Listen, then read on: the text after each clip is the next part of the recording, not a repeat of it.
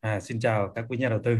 À, mình à, là Quang, à, đang à, hôm nay rất là vinh dự được à, điều phối một cái ờ, panel các chuyên gia VNREX. À, ờ, đây là một cái chương trình định kỳ à, hàng hàng tháng. À, bây giờ sẽ là hàng tháng. Trước đây thì chúng tôi làm hàng quý nhưng mà bây giờ sẽ làm hàng tháng và sẽ à, thảo luận để chia sẻ với các quý nhà đầu tư, à, các anh chị các bạn đầu tư trên thị trường về chiến lược đầu tư và quản lý tài sản của quý 4 2021 và tầm nhìn 2022.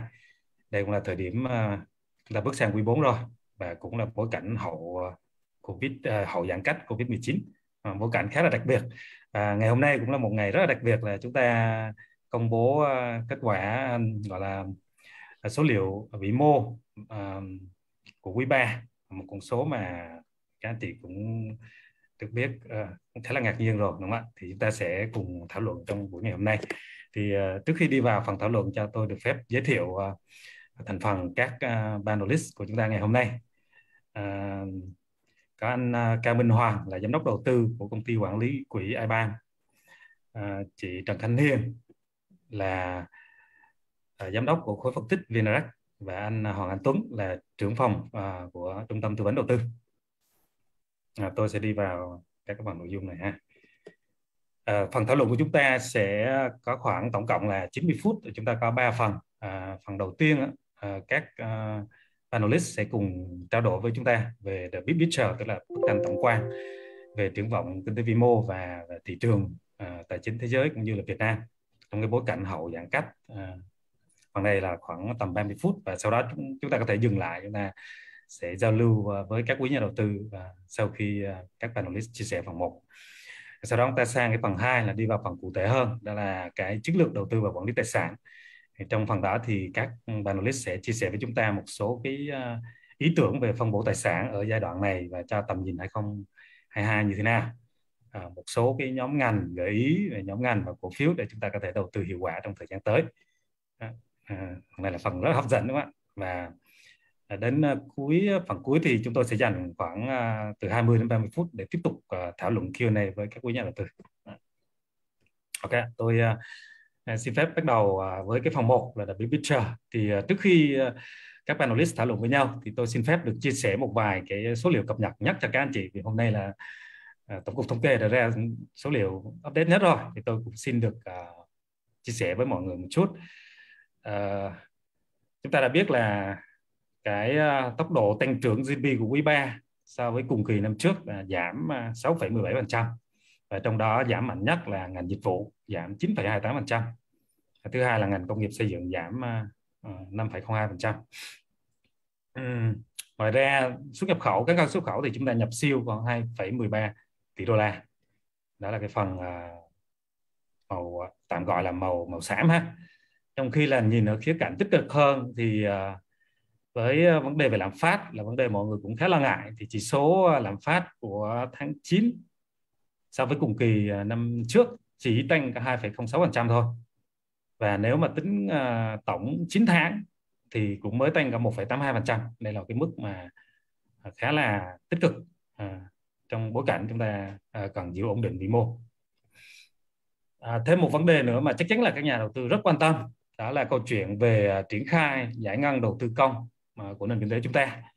Thì tôi cập nhật một số cái thông tin uh, cho các quý nhà đầu tư có thể tham khảo là tính đến 30 tháng 9 thì ước là chúng ta mới giải ngân được có uh, đạt khoảng 47,38% kế hoạch được giao.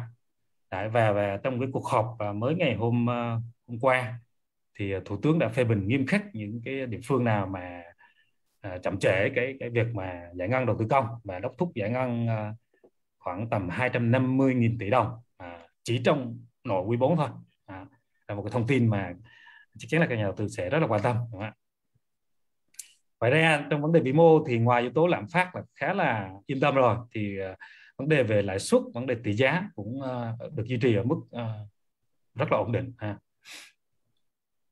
Uh, tôi xin cập nhật thêm cho các quý nhà đầu tư uh, tình hình Covid về đây là vấn đề mà chúng ta cũng đang uh, đang rất là quan tâm biết là tiến độ như nào rồi đúng không ạ thì rõ ràng là với cái làn sóng ờ, covid lần thứ tư mà cái biến chủng delta này nó, nó quá mạnh bắt đầu từ tháng 5 đúng không ạ? Thì thì uh, chúng ta đã phải chấp nhận một cái chiến lược là thay đổi cái quan điểm là từ uh, việc là zero covid chúng ta sang là sẽ chấp nhận là sẽ sống chung với covid. Và chúng tôi tin rằng đây là một chiến lược uh, rất là phù hợp ở cái giai đoạn này.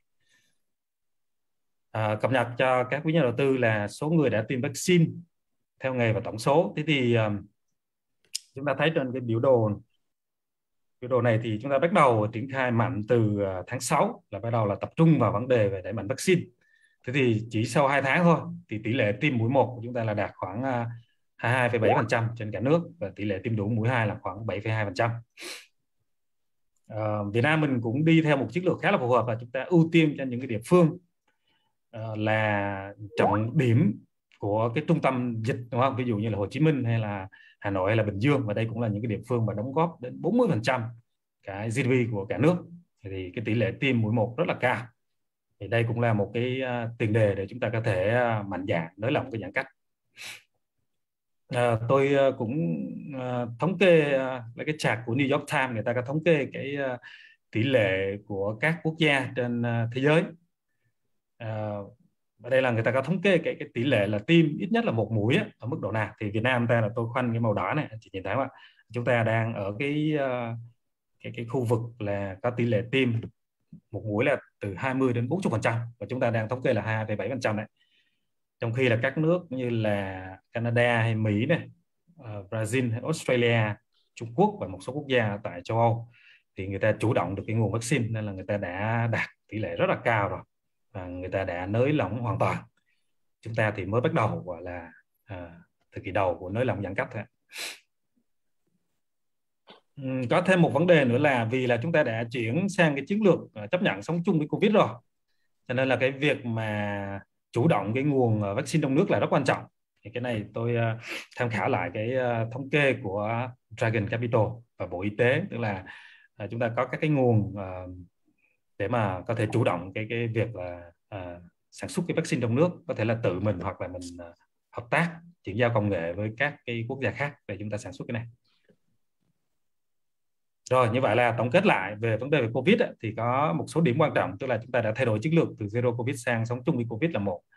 Thứ hai là chúng ta tập trung vaccine được đẩy mạnh và dự kiến là đến à, quý 1 2022 thì sẽ đạt được là 70% người dân Việt Nam được tiêm à, đủ hai liều như vậy là chúng ta sẽ hoàn toàn an tâm với vấn đề là là là mở cửa nền kinh tế hoàn toàn. À, thứ hai nữa là các cái tỉnh trọng điểm thì dần dược là đạt cái độ phủ tiêm vaccine để có thể nới lỏng giãn cách được. À, và điều cuối cùng là chúng ta chủ động nguồn vaccine trong nước để ứng phó lâu dài với covid.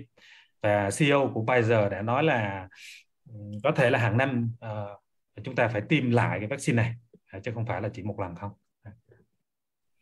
rồi, đó là à, tổng kết các à, vấn đề về nền kinh tế với lại là à, xung quanh vấn đề về covid trong giai đoạn hiện nay. Bây giờ tôi sang một chút về triển vọng kinh tế và thị trường trong thời gian tới như thế nào. Đó. Thì đây là một cái biểu đồ về cập nhật cái chu kỳ kinh tế. Đó. những quốc gia như là Mỹ hay là Trung Quốc là người ta đã chủ động được cái nguồn tiêm vaccine rồi. Cho nên là người ta đã mua rất là nhanh về chu kỳ, đúng không? Sang từ hồi phục đến sang cái giữa chu kỳ của, của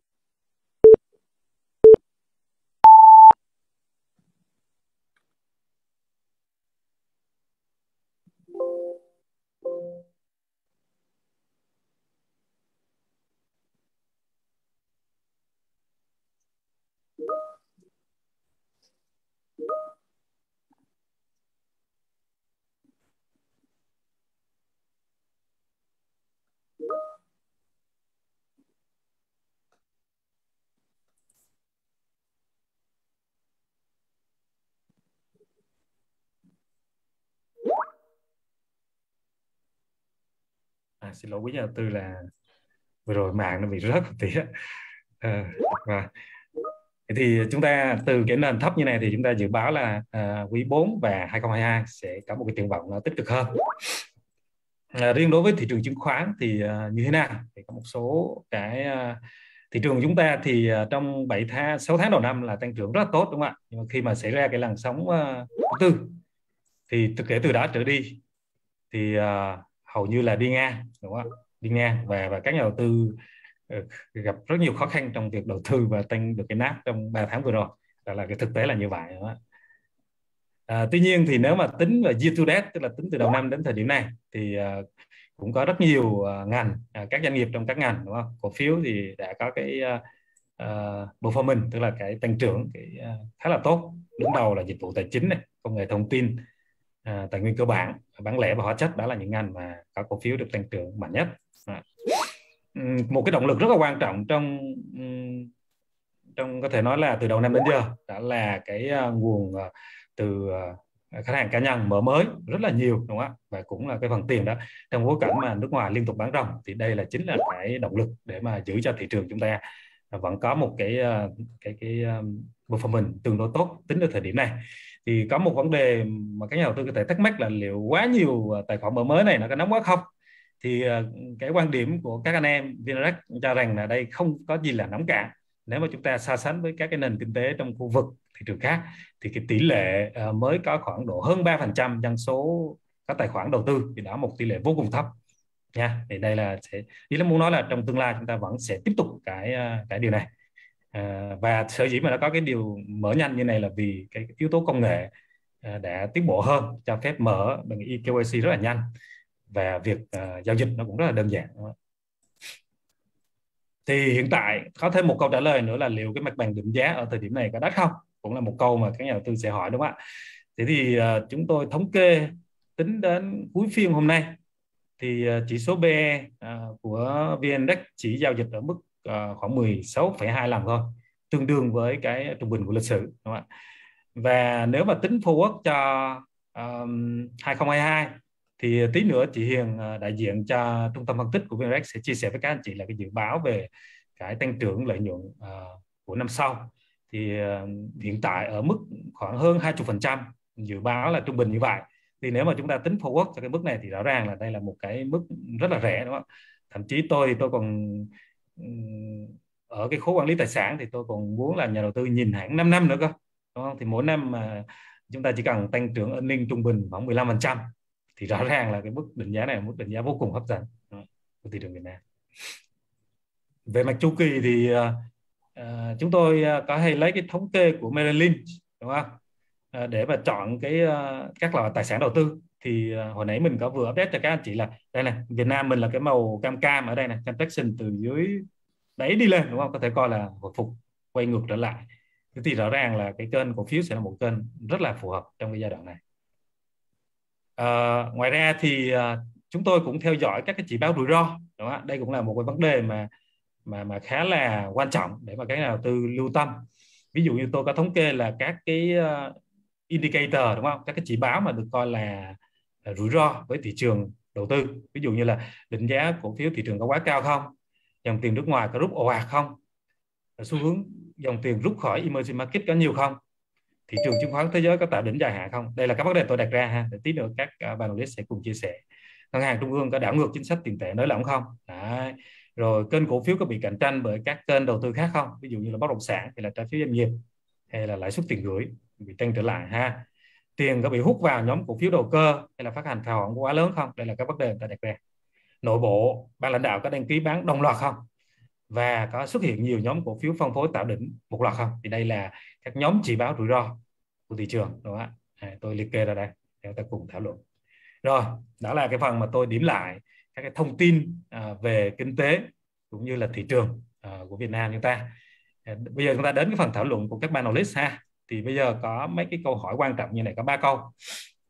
Một là anh chị hãy uh, uh, chia sẻ cái view uh, cập nhật tình hình của kinh tế vĩ mô và thị trường đến cuối quý 3 2021 chúng ta đang đứng ở đâu? Đó. trên cái nền tảng đó thì cái triển vọng kinh tế vĩ mô và thị trường chứng khoán của quý 4 2021 với lại 2022 chúng ta sẽ như thế nào? Và điều gì sẽ trigger cái phần upside tức là nó sẽ tốt hơn hoặc là cái rủi ro nó có thể khiến cho vấn đề này nó bị đi xấu hơn là như thế nào? Vâng Thì ờ, uh, chắc là mình ờ, xin phép được mời chị Hiền giám đốc uh, của khối phân tích uh, chia sẻ các cái vấn đề này với các nhà đầu tư xin mời chị Hiền. À, cảm ơn anh Quang. Xin chào uh, quý nhà đầu tư. À, trước hết um, tôi muốn đánh giá một chút về cái bức tranh vĩ mô uh, của quý 3 um, dạ, từ cái số liệu mà tổng cục thống kê vừa đưa ra uh, lúc sáng nay. Thì nhìn chung cái tức là tất cả các nhà đầu tư của đều hiểu đều thị trường đều nhận định là quý 3 sẽ là một cái quý khá là khó khăn. Và cái việc mà tăng trưởng GDP âm đấy là một cái điều mà không thể tránh khỏi tuy nhiên là đối với các con số mà à, tăng trưởng âm hơn 6% thì nó cũng tương đối là nó cao hơn nó tức là nó nặng hơn tức là ảnh hưởng của covid nó nặng hơn so với lại à, những gì mà chúng tôi dự đoán. À, trong một cái báo cáo vào à, tầm à, đầu tháng 8 thì chúng tôi có dự, dự báo là à, GDP quý 3 đâu đó sẽ âm à, hơn 1% và sẽ tăng trưởng trở lại vào khoảng ở mức là sấp xỉ 6% à, cho quý 4 thì nếu mà dựa trên cái cái cái kịch bản mà ban đầu của chúng tôi đưa ra thì à, đâu đó thì cuối năm chúng ta khả năng là đạt được cái mức tăng trưởng GDP à, gần 4%. Tuy nhiên là cái kịch bản cái cái cái cái cái thực tế của quý 3 nó khá là khắc nghiệt hơn những gì chúng ta dự đoán và ở cái thời điểm hiện nay thì khi mà một số cái đầu tàu kinh tế của uh, lớn như là Hồ Chí Minh, Hà Nội bắt đầu trở lại cái tình trạng bình thường mới thì uh, tôi vẫn nhận thấy là có rất là nhiều cái khó khăn và thách thức. Uh, đầu tiên chắc là là là là uh, tôi sẽ chia sẻ về cái những cái thách thức trước uh, và tiếp theo là đến những cái điểm tích cực hơn là những cái cái key driver cho nền kinh tế trong các quý tiếp theo. À, những cái thách thức mà hiện nay tôi thấy ở đây thứ nhất là cái à, mặc dù là chúng ta đã chuyển đổi cái trạng thái từ cái chính sách là à, zero covid à, tức là không có covid sang một cái chính sách là chúng ta phải sống chung với covid. Tuy nhiên là đâu đó vẫn có cái sự chưa đồng nhất giữa các tỉnh thành phố. À, điển hình là chẳng hạn như giữa Hà Nội và các tỉnh lân cận chẳng hạn hay là giữa thành phố Hồ Chí Minh và các tỉnh thành lân cận. Điều này nó vẫn tạo nên một cái sự khó khăn và trong cái cái cái vấn đề di chuyển cũng như là tạo nên cái đứt gãy vẫn tiếp tục đứt gãy trong các chuỗi cung ứng. Cái điểm thứ hai là cái hoạt động sản xuất kinh doanh mà là mà đấy là một trong những cái cột sống của nền kinh tế thì đâu đó nó vẫn ảnh hưởng rất là lớn. Trong ít nhất là cái cái cái mức độ ảnh hưởng nó sẽ kéo dài à, trong tháng 10 tức là khác với thời điểm là à, năm ngoái khi chúng ta nhìn thấy là khi mà vừa à, kết thúc cái việc giãn cách thì à, cả sản xuất của chúng ta hay là cả sản xuất và tiêu dùng nó đều đạt được một cái mức phục hồi đáng kể. Thì trong trong thời điểm gần đây trong thời điểm này thì tôi thấy là cái à, ảnh hưởng của hoạt động sản xuất kinh, kinh doanh nó khá là lớn. Tức theo một cái khảo sát của tổng cục, tổng cục thống kê thì à, hầu hầu chỉ có thì có đến là hơn 60% các uh, doanh nghiệp đánh giá là hoạt động sản xuất kinh doanh sẽ là khó khăn hơn trong trong quý 4 này. Và chỉ có cái con số là khoảng 13% cho rằng là à, quý 4 sẽ tốt hơn và khoảng tầm 25% thì cho rằng là uh, vẫn giữ được ổn định. Tức là cái nhìn chung là cái cái cái cái tinh cái tinh thần cái cái cái động thái cái cái nó vẫn khá là là là là tiêu cực. Ít nhất là à, trong tháng 10 À, cái điểm thứ hai mà ờ, chúng chúng ta cần ờ, thấy ở đây là cái việc mà thiếu hụt lao động. À, do là ừ, cái việc này nó cũng xuất phát từ cái việc là à, đứt gãy trong cái cái cái cái cái cái khâu di chuyển giữa các tỉnh thành từ nơi này sang nơi khác. Cho nên là cái tình trạng thiếu hụt lao động cũng là một trong những cái vấn đề mà hầu hết các nước không chỉ là Việt Nam hầu hết các nước như là Thái Lan hoặc là Indo sau khi mà họ qua cái giai đoạn giãn cách họ cũng đều gặp cái khó khăn này và cái cái điểm thứ ba mà là là một trong những cái khó khăn lớn đấy là cầu tiêu dùng. Hiện nay thì à, nhìn nhìn về năm ngoái thì cầu tiêu dùng là một cầu tiêu dùng nội địa là một trong những cái yếu tố mà giúp cho nền kinh tế phục hồi ngay, mạnh ngay sau đại dịch. Tuy nhiên là ở thời điểm hiện nay thì cầu tiêu dùng cái nó sẽ phục hồi khá là chậm và sẽ không có cái tức không có cái gọi là sức gọi là sức nén hay là à, sức bật như là năm ngoái đấy là ba cái điểm mà tôi cho rằng đấy là cái thách thức à, đối với nền kinh tế trong à, trong các quý tới. Thì cái điểm tích cực ở đây thì chúng ta thấy có một vài cái điểm tích cực. Thứ nhất là cái tỷ lệ tiêm vaccine của chúng ta ngày càng tăng. À, thứ hai nữa là là xuất khẩu vẫn là một trong à, những cái cái cái cái cái mũi nhọn để mà giúp nền kinh tế à, phục hồi. À, nếu mà nhìn sâu vào các con số thì chúng ta thấy là tháng ờ, ừ, xuất khẩu của tháng 8 giảm chỉ khoảng là 0,6% so với cùng kỳ năm trước. Tức là nó tốt hơn rất là nhiều so với cái mức giảm là gần 6% của tháng 8 có nghĩa là khi mà ừ, mà Bắc Ninh và Bắc Giang khống chế thành công dịch bệnh và hoạt động sản xuất trở lại thì nhóm điện tử và điện thoại là một trong những cái cái cái cái đầu tàu để mà giúp xuất khẩu. À, có cái mức uh, giảm thấp hơn trong tháng 9. Ngoài ra thì nhóm Ờ, nhiên vật liệu trong đó là cũng à, xăng dầu cũng tăng mạnh bởi vì uh, chúng ta cũng được lợi nhờ việc giá dầu tăng. Cái điểm tích cực thứ ba là nhìn là điểm tích cực từ FDI tức là mặc dù là đâu đó là ừ, tình hình à, dịch bệnh à, khá là khó khăn trong việc là đi lại giữa các quốc gia. Tuy nhiên là chúng ta vẫn ghi nhận cái cái cái cái cái số lượng FDI À, đăng ký mới khá là tích cực.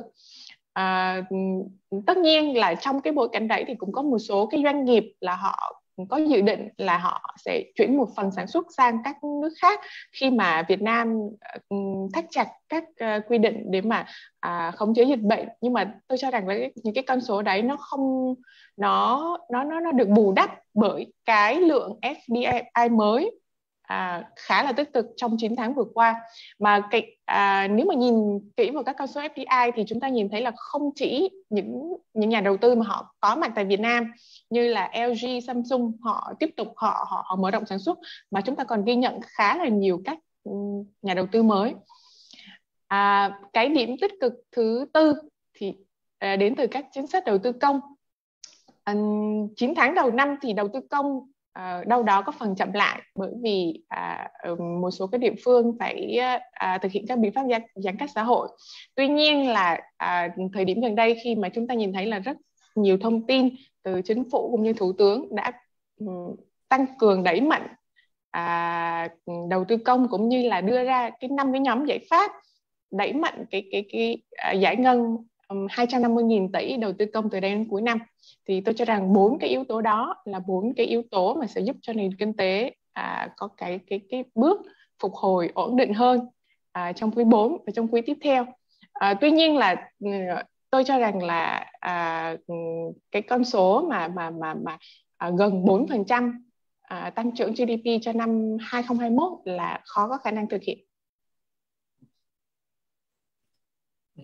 Thế thì uh, nếu mà tổng hợp cả cái yếu tố mà uh, tích cực lẫn tiêu cực đó thì thì uh, uh, Hiền có điều chỉnh lại cái uh, cái dự báo của mình không?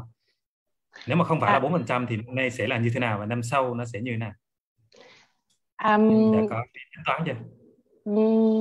khối research của VnDirect sẽ thực hiện cái việc tính toán lại trong một vài ngày tới khi mà chúng ta có con số cụ thể về thứ nhất là các con số về PMI cũng như là cái con số cụ thể về xuất nhập khẩu từ à, từ từ từ từ, uh, hải quan à, thì nếu mà từ cái con số mà ở thời điểm hiện hiện nay ấy, thì trong cái um, à, khối phân tích thì ước tính là GDP đâu đó chỉ đạt ở mức là gần 3% cho năm 2021.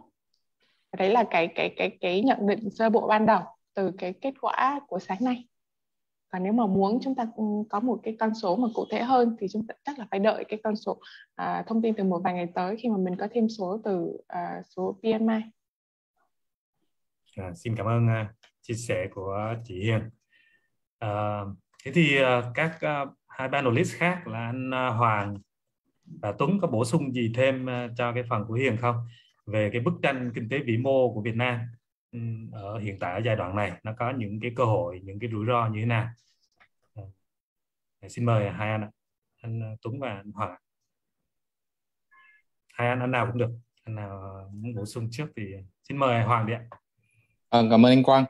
À, thực ra về những cái thông tin vĩ mô gần đây hiện tại của các nhà đầu tư đều lắng nghe đều có một cái gam màu tương đối là trầm. Khi mà cái ngày hôm nay là cái số GDP ra đúng không ạ?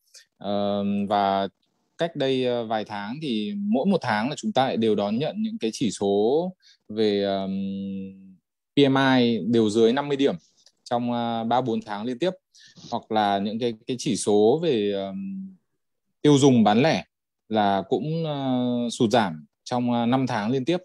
Thế thì những cái uh, chỉ số đó sẽ là những cái dấu hiệu để chúng ta biết trước được rằng là quý 3 Ờ, uh, GDP của Việt Nam là sẽ bị âm. Thế tuy nhiên thì thị trường nó có những cái lý do rất là phù hợp của chính nó à, và việc nhà đầu tư vẫn có một cái kỳ vọng và một cái nhìn rất lạc quan về nền kinh tế Việt Nam trong ờ, à, 2 cho đến 5 năm tới nó thể hiện rất rõ ở cái việc là chỉ số chứng khoán Việt Nam hiện tại là đang một trong những cái chỉ số tăng trưởng tốt nhất của khu vực.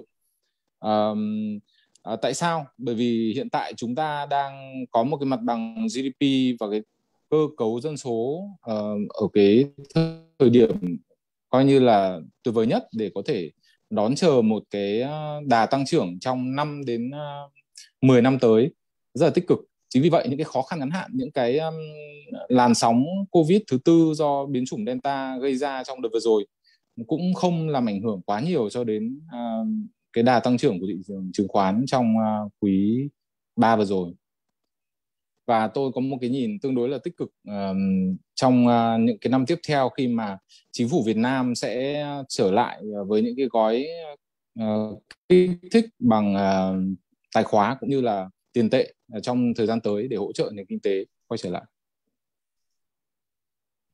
À, xin cảm ơn chia sẻ của Hoàng. Cái sự bổ sung của Hoàng rất hay nhé.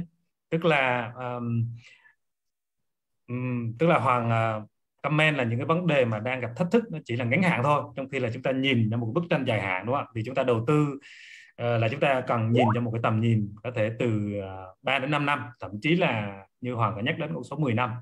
Thì, thì cái nền tảng kinh tế vĩ mô của chúng ta vẫn cực kỳ uh, vững chắc đúng không để mà phù hợp cho hoạt động đầu tư. Uh, ok thế thì còn uh, Tuấn Tuấn có bổ sung gì thêm cái uh, góc nhìn của em. À, tại vì à, chúng ta nhìn vấn đề tăng trưởng nhưng mà bên cạnh đó thì à, với cái hoạt động đầu tư thì chúng ta rất cần cái cái sự ổn định của kinh tế vĩ mô nữa. Thì Tuấn có cái à, cái view của em như nào về cái sự ổn định của kinh tế vĩ mô ở giai đoạn hiện nay? Của chúng ta như nào? Vâng ạ thì uh, bổ sung ý kiến của anh Hoàng thôi là anh Hoàng nói câu chuyện rằng là trong dài hạn ấy, thì chúng ta thấy rất là ok. Thế thì bây giờ chúng ta đã nhìn cái bức tranh dài hạn là tăng trưởng như vậy rồi. Thế thì bây giờ chúng ta sẽ tập trung một vấn đề ngắn hạn tức là cái câu chuyện ngắn hạn nó sẽ như thế nào. Thì uh, Tuấn có đưa ra hai ý hai ý mà chúng ta cần phải theo dõi. Uh, tức là thông thường khi mà một thông tin nó được phản ứng ấy nó một được được mọi người bắt đầu tự đoán và bắt đầu đưa ra ấy, thì sẽ thị trường thông thường sẽ đi ngang hoặc là sẽ điều chỉnh để chờ thông tin đấy đến.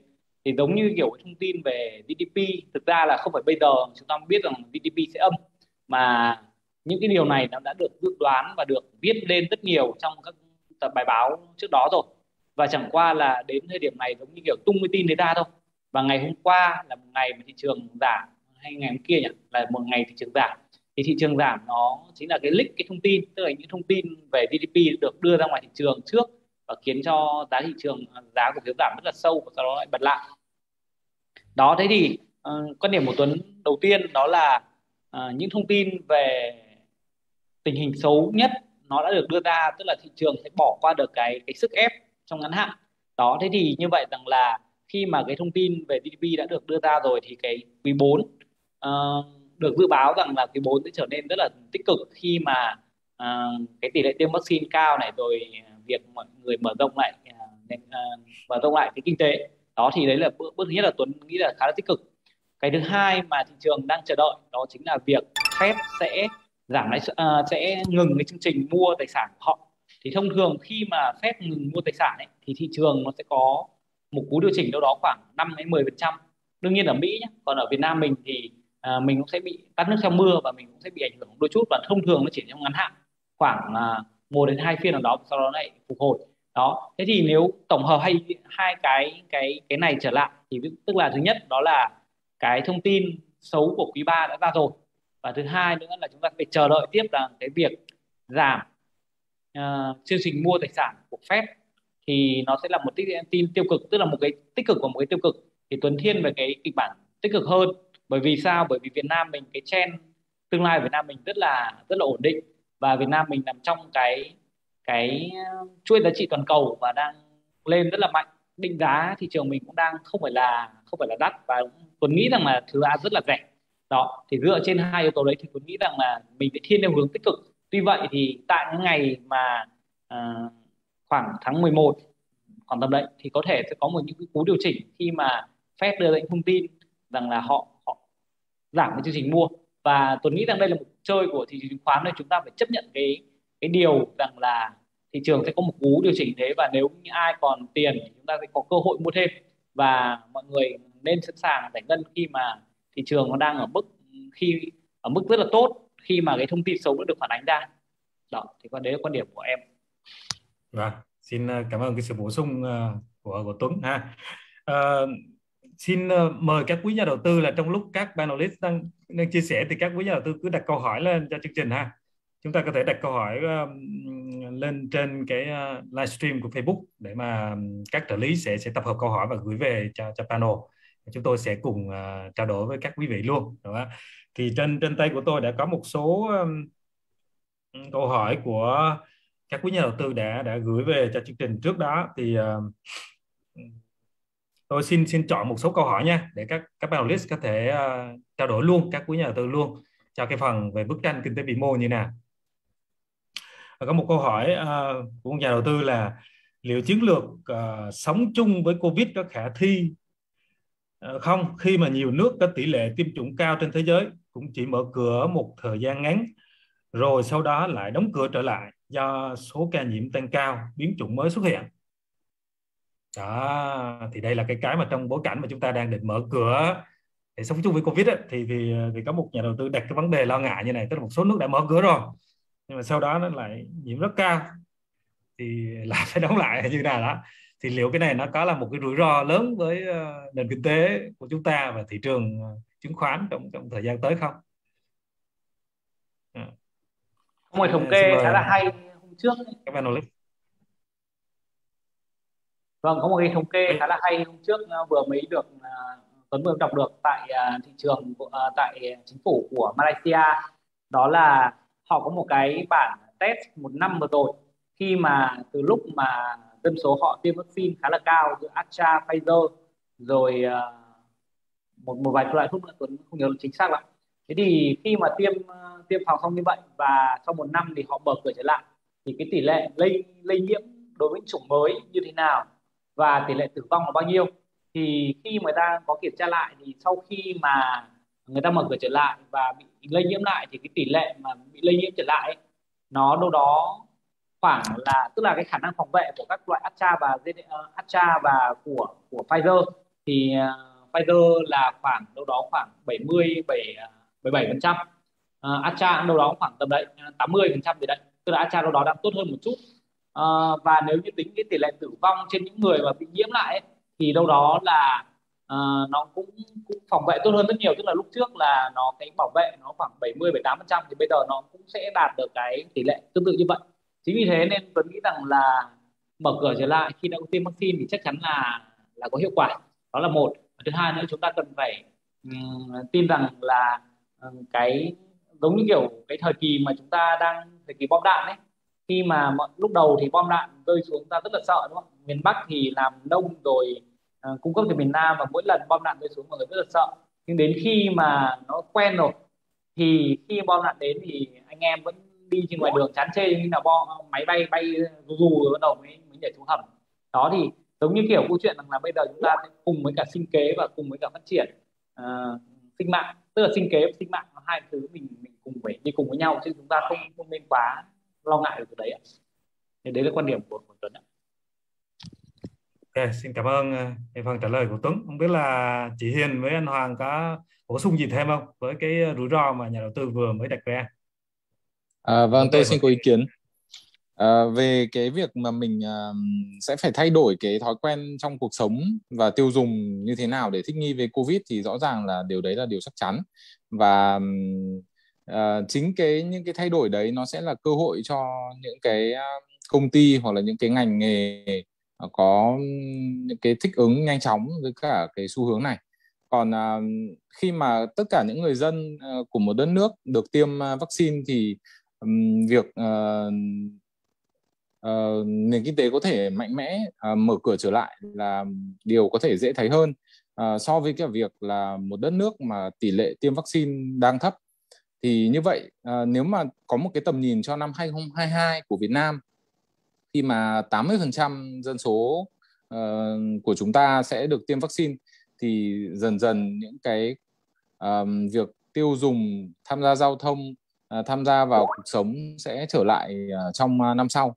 Tuy nhiên thì cái việc thay đổi thói quen đó nó sẽ tạo cho những ngành nghề một số ngành nghề thì chúng ta sẽ sẽ thảo luận về phía sau. Nhưng mà theo tôi là để nói những cái ngành nghề đấy thì rõ ràng là à, thứ nhất là à, thương mại điện tử hoặc là những cái ngành nghề liên quan đến y tế là chắc chắn là sẽ được hưởng lợi. Ngoài ra thì cái đây cũng là một cú hích rất là lớn cho cái ngành công nghệ thông tin trong thời gian tới. Thì Ờ, tức là để làm quen với cái việc covid ờ, nó gây ra sự khó khăn của chúng ta thì có những cái um, là um, chưa được tốt nhưng mà ngược lại là có những cái là sẽ có những ngành nghề được hưởng lợi rất là lớn. Thì đấy là cơ hội cho thị trường chứng khoán chúng ta uh, trong thời gian tới. Rồi xin cảm ơn uh, anh Hoàng. Ở đây có thêm một số cái câu hỏi uh, chúng ta vẫn đang ở vấn đề về kinh tế vĩ mô và thị trường nha còn các ngành cụ thể thì mình để sẽ thảo luận ở phần sau Hoàng ạ. Ok. Uh, có một uh, nhà đầu tư có một câu hỏi trên, trên Facebook là anh chị nhận định thế nào về việc giãn nợ vay và nợ xấu hiện tại? Khả năng khi nào chính phủ tăng lãi suất trở lại này chắc là xin mời chị Hiền nha.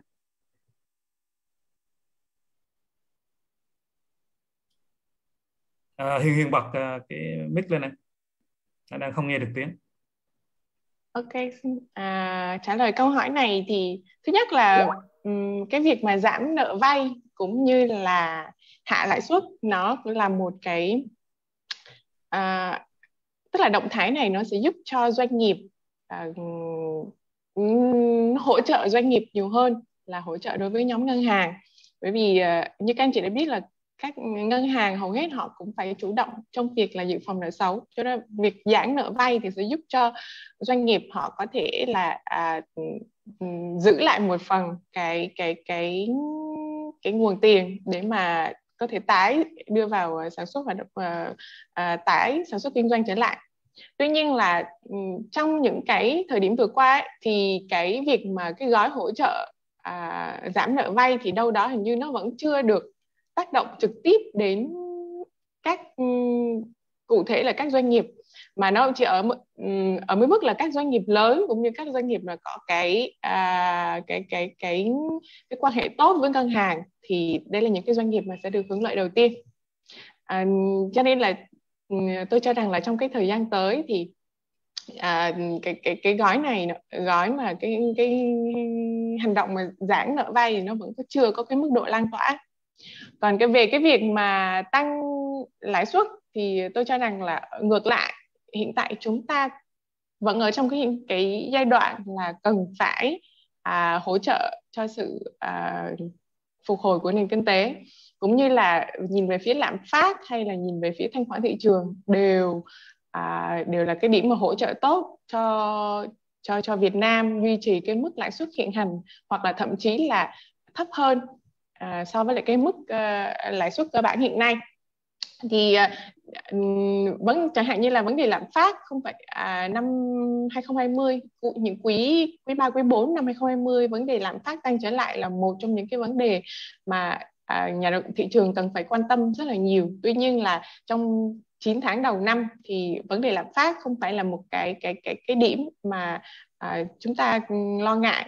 Mà chúng ta cần phải à, có những cái động thái à, tích cực hơn để mà hỗ trợ cho cái sự à, quay lại sản, tái sản xuất kinh doanh của doanh của doanh nghiệp. Thì um, nếu mà nhìn một số cái cái nước ờ, một số nền kinh tế gần với chúng ta thì gần đây chúng ta, ta thấy có Thái Lan là một trong những nước mà họ gần như là chuẩn bị sẽ tiếp tục cắt giảm lãi suất bởi vì cái bối cảnh của nền kinh tế Thái Lan cũng tương đồng với Việt Nam khi mà cái thời gian qua họ cũng chịu một cái một cái đợt tấn công khá là mạnh của Covid. Hay là Indo họ cũng đang tiếp tục cắt giảm lãi suất à, ừ, à trong à, tháng 3 vừa qua. À, mặt khác thì một số ừ, một số nền kinh tế lớn như là Hàn Quốc hay là à, Brazil thì họ có họ follow cái cái đà họ đi trước một chút cái đà tăng lãi suất của Fed mà họ đã có cái bước tăng lãi suất nhẹ trong ờ, hai tháng vừa qua. Tuy nhiên là ừ, ừ, chúng ta trong bối cảnh này chúng ta khá là khá là khó khi mà so với lại ờ, các nền kinh tế mà họ đã có cái à, tỷ lệ tiêm chủng cao cũng như là họ sẵn sàng mở cửa cái cái cái mức độ mà sẵn sàng khi mở cửa trở lại của họ cao hơn. Thì ở thời điểm hiện nay thì tôi cho rằng là ít nhất là trong vòng hai quý tới thì chúng ta không sẽ không có cái cái cái cái cái việc mà tăng lãi suất hoặc là thậm chí là à, chúng ta cũng có thể là là là tiếp tục là giảm lãi suất để mà um, hỗ trợ cho sự à, phục hồi của nền kinh tế. Rồi, cảm ơn câu trả lời à, rất rõ ràng của của Hiền ha. À, à, các quý nhà đầu tư đang đặt rất nhiều câu hỏi về về các ngành nhưng mà tuy nhiên thì à, mình xin các quý nhà đầu tư đợi một chút ha chúng ta sang cái phần 2 mà cái chiến lược à, đầu tư ấy với các cái tiêu điểm đầu tư thì chúng ta sẽ tập trung thảo luận phần đó hơn. Còn phần đầu này chúng ta vẫn đang giải quyết các cái câu hỏi liên quan đến à, bức tranh lớn của vĩ mô và thị trường chứng khoán trước ạ. À. mong các nhà đầu tư à, đợi một chút ha. Thì sẽ giải đáp ở phần sau thôi. À, còn thêm một câu nữa liên quan đến phần vĩ mô đó là các chuyên gia đánh giá thế nào về rủi ro trái phiếu của các doanh nghiệp đặc biệt là của các doanh nghiệp trong ngành bất động sản. Ừ, xin mời các bạn panelist uh, ờ, trả ý kiến về phần này.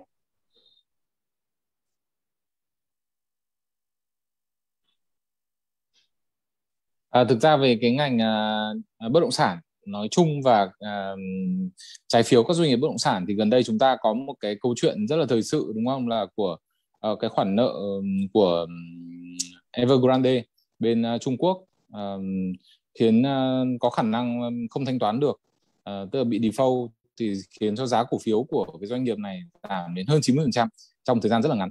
Đấy.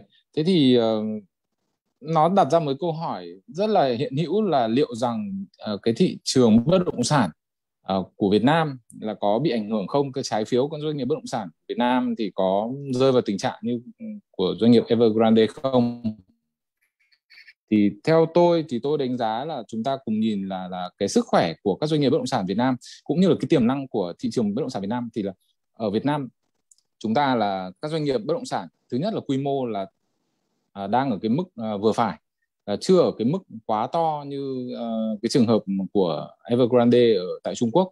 Cái thứ hai là cái cái cái cái pha tăng trưởng của nền kinh tế Việt Nam cái này rất là quan trọng tức là nền kinh tế của Việt Nam của chúng ta đang đón một cái lượng FDI vào rất là đều uh, hàng năm. Um, và um, bất động sản khu công nghiệp cũng như là người dân ở Việt Nam là uh, có uh, triển vọng tăng trưởng cái thu nhập đầu người lên rất là cao trong thời gian uh, uh, dài sắp tới 5 đến 10 năm tới. Tức là hiện tại chúng ta GDP đầu người của chúng ta ấy, uh, là khoảng chỉ khoảng 3.500 đô. Uh, nhưng mà nhìn quanh khu vực thì chúng ta thấy láng giềng của chúng ta là ai? Đấy là Thái Lan đúng không ạ? 7.000 đô la Malaysia 10.000 đô la Indonesia à, khoảng 5.000 rưỡi đô la.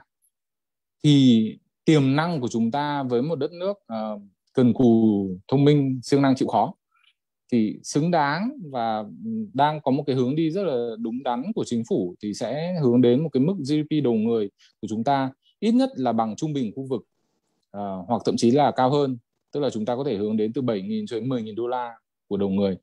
Thì với cái sức mua tăng lên như thế của của trung bình của toàn dân cư thì cái dòng tiền hỗ trợ cho thị trường à, bất động sản bởi vì là uh, thị trường bất động sản ở người Việt Nam là giống như nhà cửa là một thứ quan trọng nhất.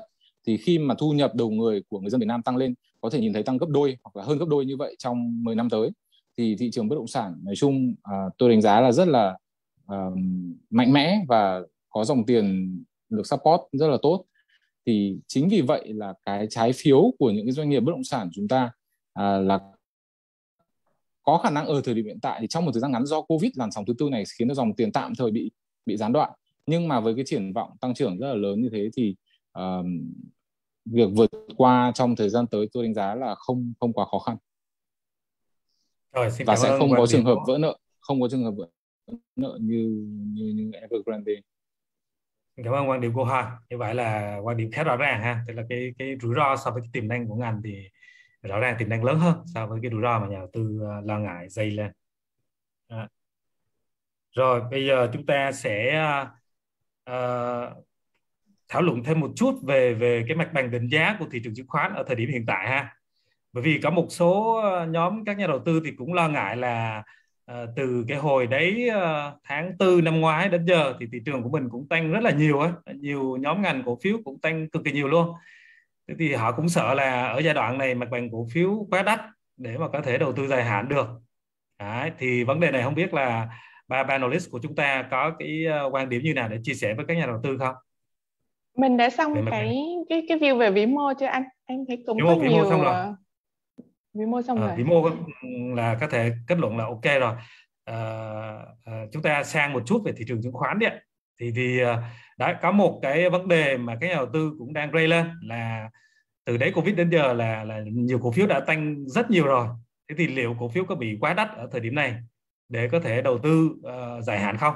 À, thì cái này các panelist có chia sẻ gì thêm về phần này không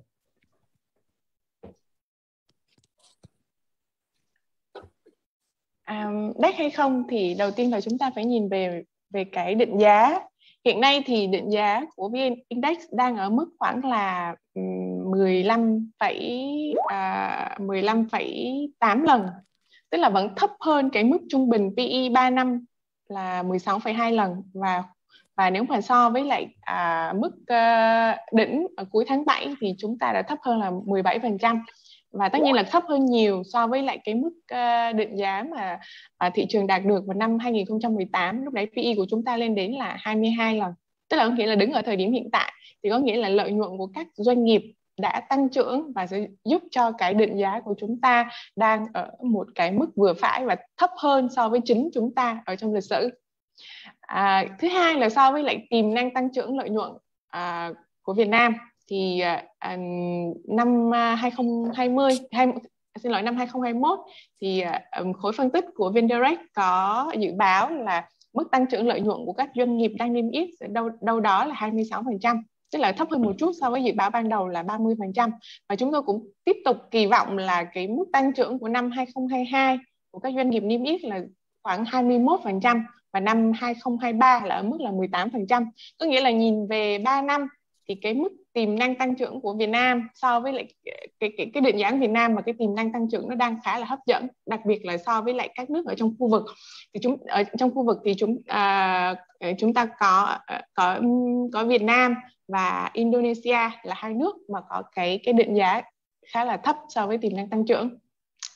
Thứ cái điểm thứ ba nữa mà chúng ta kỳ vọng là cái quy mô thị trường hiện tại nó đang nó khác rất nhiều so với lại chính thị trường của chúng ta năm 2018 khi à, nhìn lại thì hiện, hiện thị trường của chúng ta hiện nay được sự sự hỗ trợ mạnh mẽ từ cái dòng tiền của các nhà đầu tư cá nhân trong nước. Cái cái điểm này nó giúp cho chúng ta có thể à, có thể ừ, ừ, giúp cho thanh khoản thị trường cũng như quy mô thị trường sẽ tiếp tục là phát triển một cái, cái ở mức bền vững trong những năm tới. Khi khác với việc là năm 2018 chúng, thị trường của chúng, chúng ta đâu đó dẫn dắt bởi các nhà đầu tư nước ngoài. Thì khi khi họ mà họ rời đi thì thị trường sẽ rơi vào cái tình trạng là là là là là, là đổ vỡ. Và cái điểm thứ tư mà tôi nói đây là cái câu chuyện à, về à, à, nâng hạng thị trường. Mặc dù là chúng ta cũng chưa được nâng hạng nhưng đâu đó vẫn nói là vẫn là một cái câu chuyện hấp dẫn trong tương lai tức là cái, cái những cái điều mà chưa xảy ra trong tương lai thì nó sẽ nó sẽ hấp dẫn hơn khá là nhiều cho nên tính đến tính ở thời điểm hiện tại thì tôi cho rằng là định giá của thị trường Việt Nam vẫn hấp dẫn hơn khá là nhiều so với chính chúng ta trong quá khứ cũng như so với lại tiềm năng tăng trưởng về lợi nhuận của các doanh nghiệp trong tương lai. Rồi như vậy là quan điểm của chị Hiền khá rõ rồi ha. Ở giai đoạn hiện tại là chúng ta đã rẻ so với chính mình hiện tại rồi mà còn tính thêm cái dự báo lợi nhuận tăng trưởng ờ, mà ừ, chị Hiền vừa mới đưa ra của khối phân tích VNREX, dự báo là trung bình ờ, các doanh nghiệp ờ, niêm yết của chúng ta năm 2022 sẽ tăng trưởng khoảng 21% lợi nhuận này 2013 là tăng 18% đúng không ạ? Thế thì bây giờ hiện tại nó đã đang rẻ so với chính lịch sử của mình rồi, mà lại cộng thêm tăng trưởng của hai năm tới như vậy được, thì rõ ràng là mặt bằng định giá là không không hề có vấn đề gì là đắt cả à, các nhà đầu tư cũng ờ, không cần phải quá lo ngại. Ngoài ra thì chị Hiền cũng có bổ sung thêm một cái catalyst rất quan trọng là trong vòng ờ, hai uh, ba năm tới thì chúng ta lại có catalyst là chúng ta lại được uh, nâng hạng để vào emerging market đúng không? Thì riêng cái sự kiện nó không nó đã có thể định giá lại cái mặt bằng B của chúng ta uh, lên một cái mặt bằng uh, cao hơn nhiều so với cái cái, cái mặt bằng hiện tại rồi à, à không biết là anh Tuấn với với Hoàng có bổ sung gì thêm về cái định giá hiện tại của thị trường Việt Nam không? Có, có muốn bổ sung gì thêm không? Hay là đồng quan điểm với chị Hiền? Về về quan điểm định giá của thị trường Việt Nam thì uh, tôi đánh giá là nói chung tôi cũng chia sẻ quan điểm đấy. Tôi cũng hay đọc báo cáo của bên chị Hiền và cũng dựa vào đấy để ra quyết định đầu tư rất là nhiều. Thì um, hiện tại cái PE của chúng ta là đang sấp xỉ và đang thấp hơn trung bình như chị Hiền nói. Thì đấy là một cơ sở để chúng ta có thể nhìn một cách rất là logic tức là dựa trên những cái phán đoán và những cái nghiên cứu của chúng ta để đặt niềm tin vào những cái doanh nghiệp mà sẽ có sức tăng trưởng uh, tốt trong tương lai thì là nó sẽ phản ánh vào cái giá cổ phiếu cũng tăng trưởng tương ứng. Um, và hiện tại hoàn toàn có thể chúng ta có thể một cách lý trí như vậy để chúng ta đầu tư xuống những cái đồng tiền của mình. Thì nhưng mà rõ ràng là vì là chúng ta ở cái mức uh, xoay quanh cái mức trung bình thôi ờ, có nghĩa là chúng ta muốn đầu tư hiệu quả thì chúng ta phải có làm bài tập về nhà là phải đọc những cái báo cáo phân tích báo cáo đầu tư ờ, tham gia những cái buổi hội thảo để chúng ta ờ, cùng nhìn nhận những cái ngành nghề nó tăng trưởng ngành nghề nào hưởng lợi. Bởi vì trong cái bối cảnh mà covid nó tác động ờ, lớn như thế này ấy, thì rõ ràng không phải là tất cả các ngành nghề đều đi ra hàng ngang đi lên mà sẽ có ngành nghề sẽ tăng trưởng ví dụ 20% 25% nhưng có ngành nghề sẽ tăng trưởng bị âm 5% âm không không thể có được cái mức tăng trưởng tốt như những ngành còn lại thì chúng ta phải cùng nhau uh, làm bài tập về nhà để tìm những cái uh, doanh nghiệp những ngành nghề đó. Vâng. rồi ok. À, xin cảm ơn cái phần bổ sung của Hoàng. À, nhiều nhà đầu tư đang nôn nóng để hỏi về các cái cổ của các ngành cụ thể luôn ha. Thì tôi chỉ xin uh, uh, bổ sung thêm một câu cuối cùng trong cái phần uh, phần đầu thôi trước khi chúng ta chuyển sang cái phần câu cụ thể ha. À, có một câu của một nhà đầu tư hỏi là khối ngoại sao đợt này lại bán nhiều hơn mua vậy? Và nhận định như nào về cái ờ, cái, cái tình trạng này? Chắc là xin mời chị Hiền À, nhận định về giao dịch của khối ngoại à. Thực ra thì à, tôi cho rằng là cái việc mà khối ngoại rút ra ừ, khỏi thị trường Việt Nam nó cũng nó cũng cùng bối cảnh với lại là việc mà khối ngoại rút ra khỏi các thị trường à, mới nổi emerging market.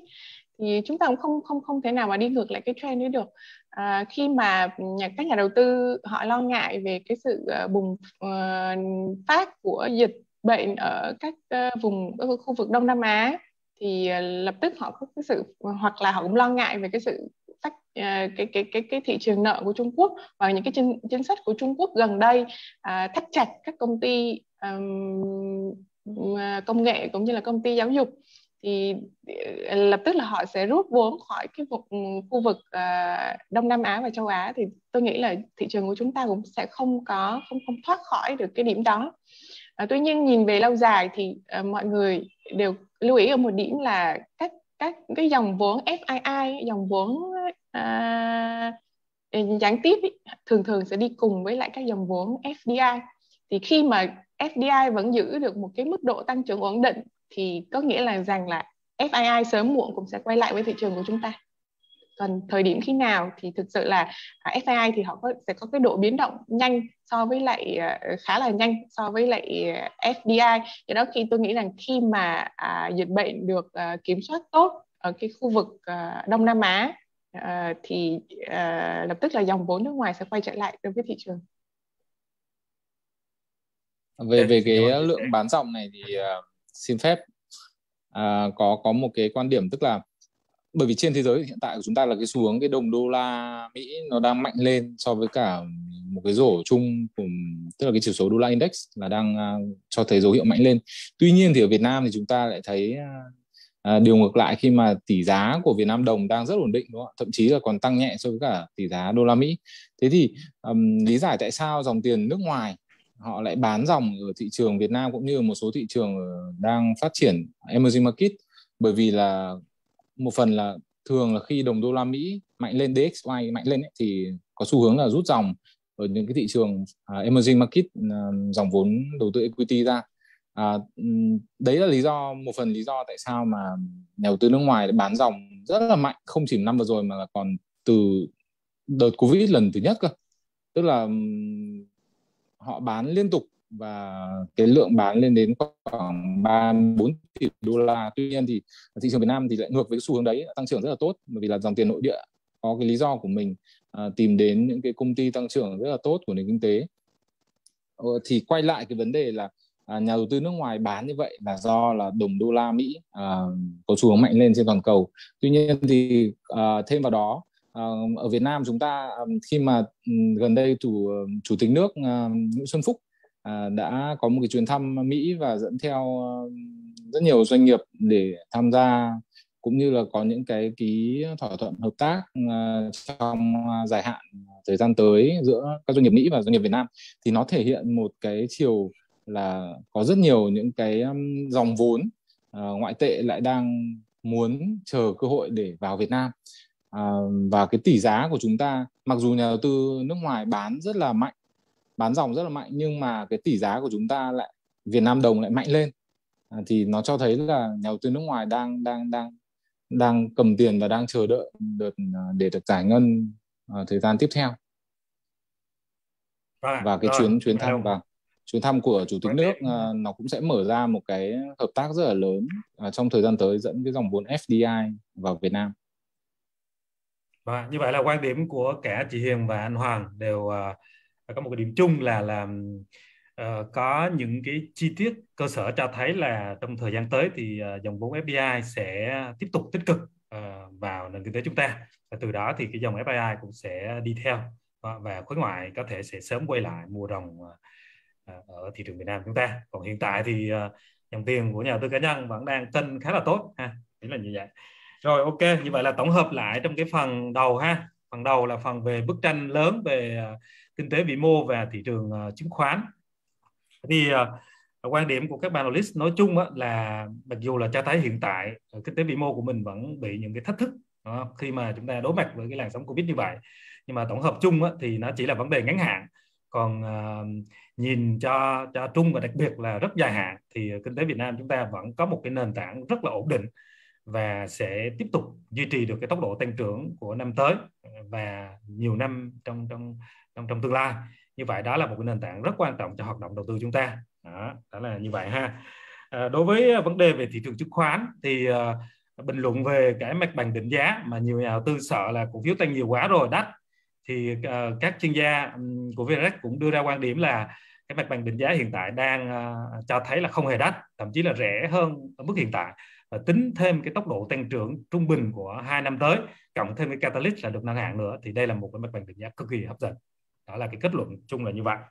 Xung quanh vấn đề về khối ngoại vân vân các loại thì các nhà đầu tư có đặt ra thì cũng đã trả lời rất rõ ràng rồi.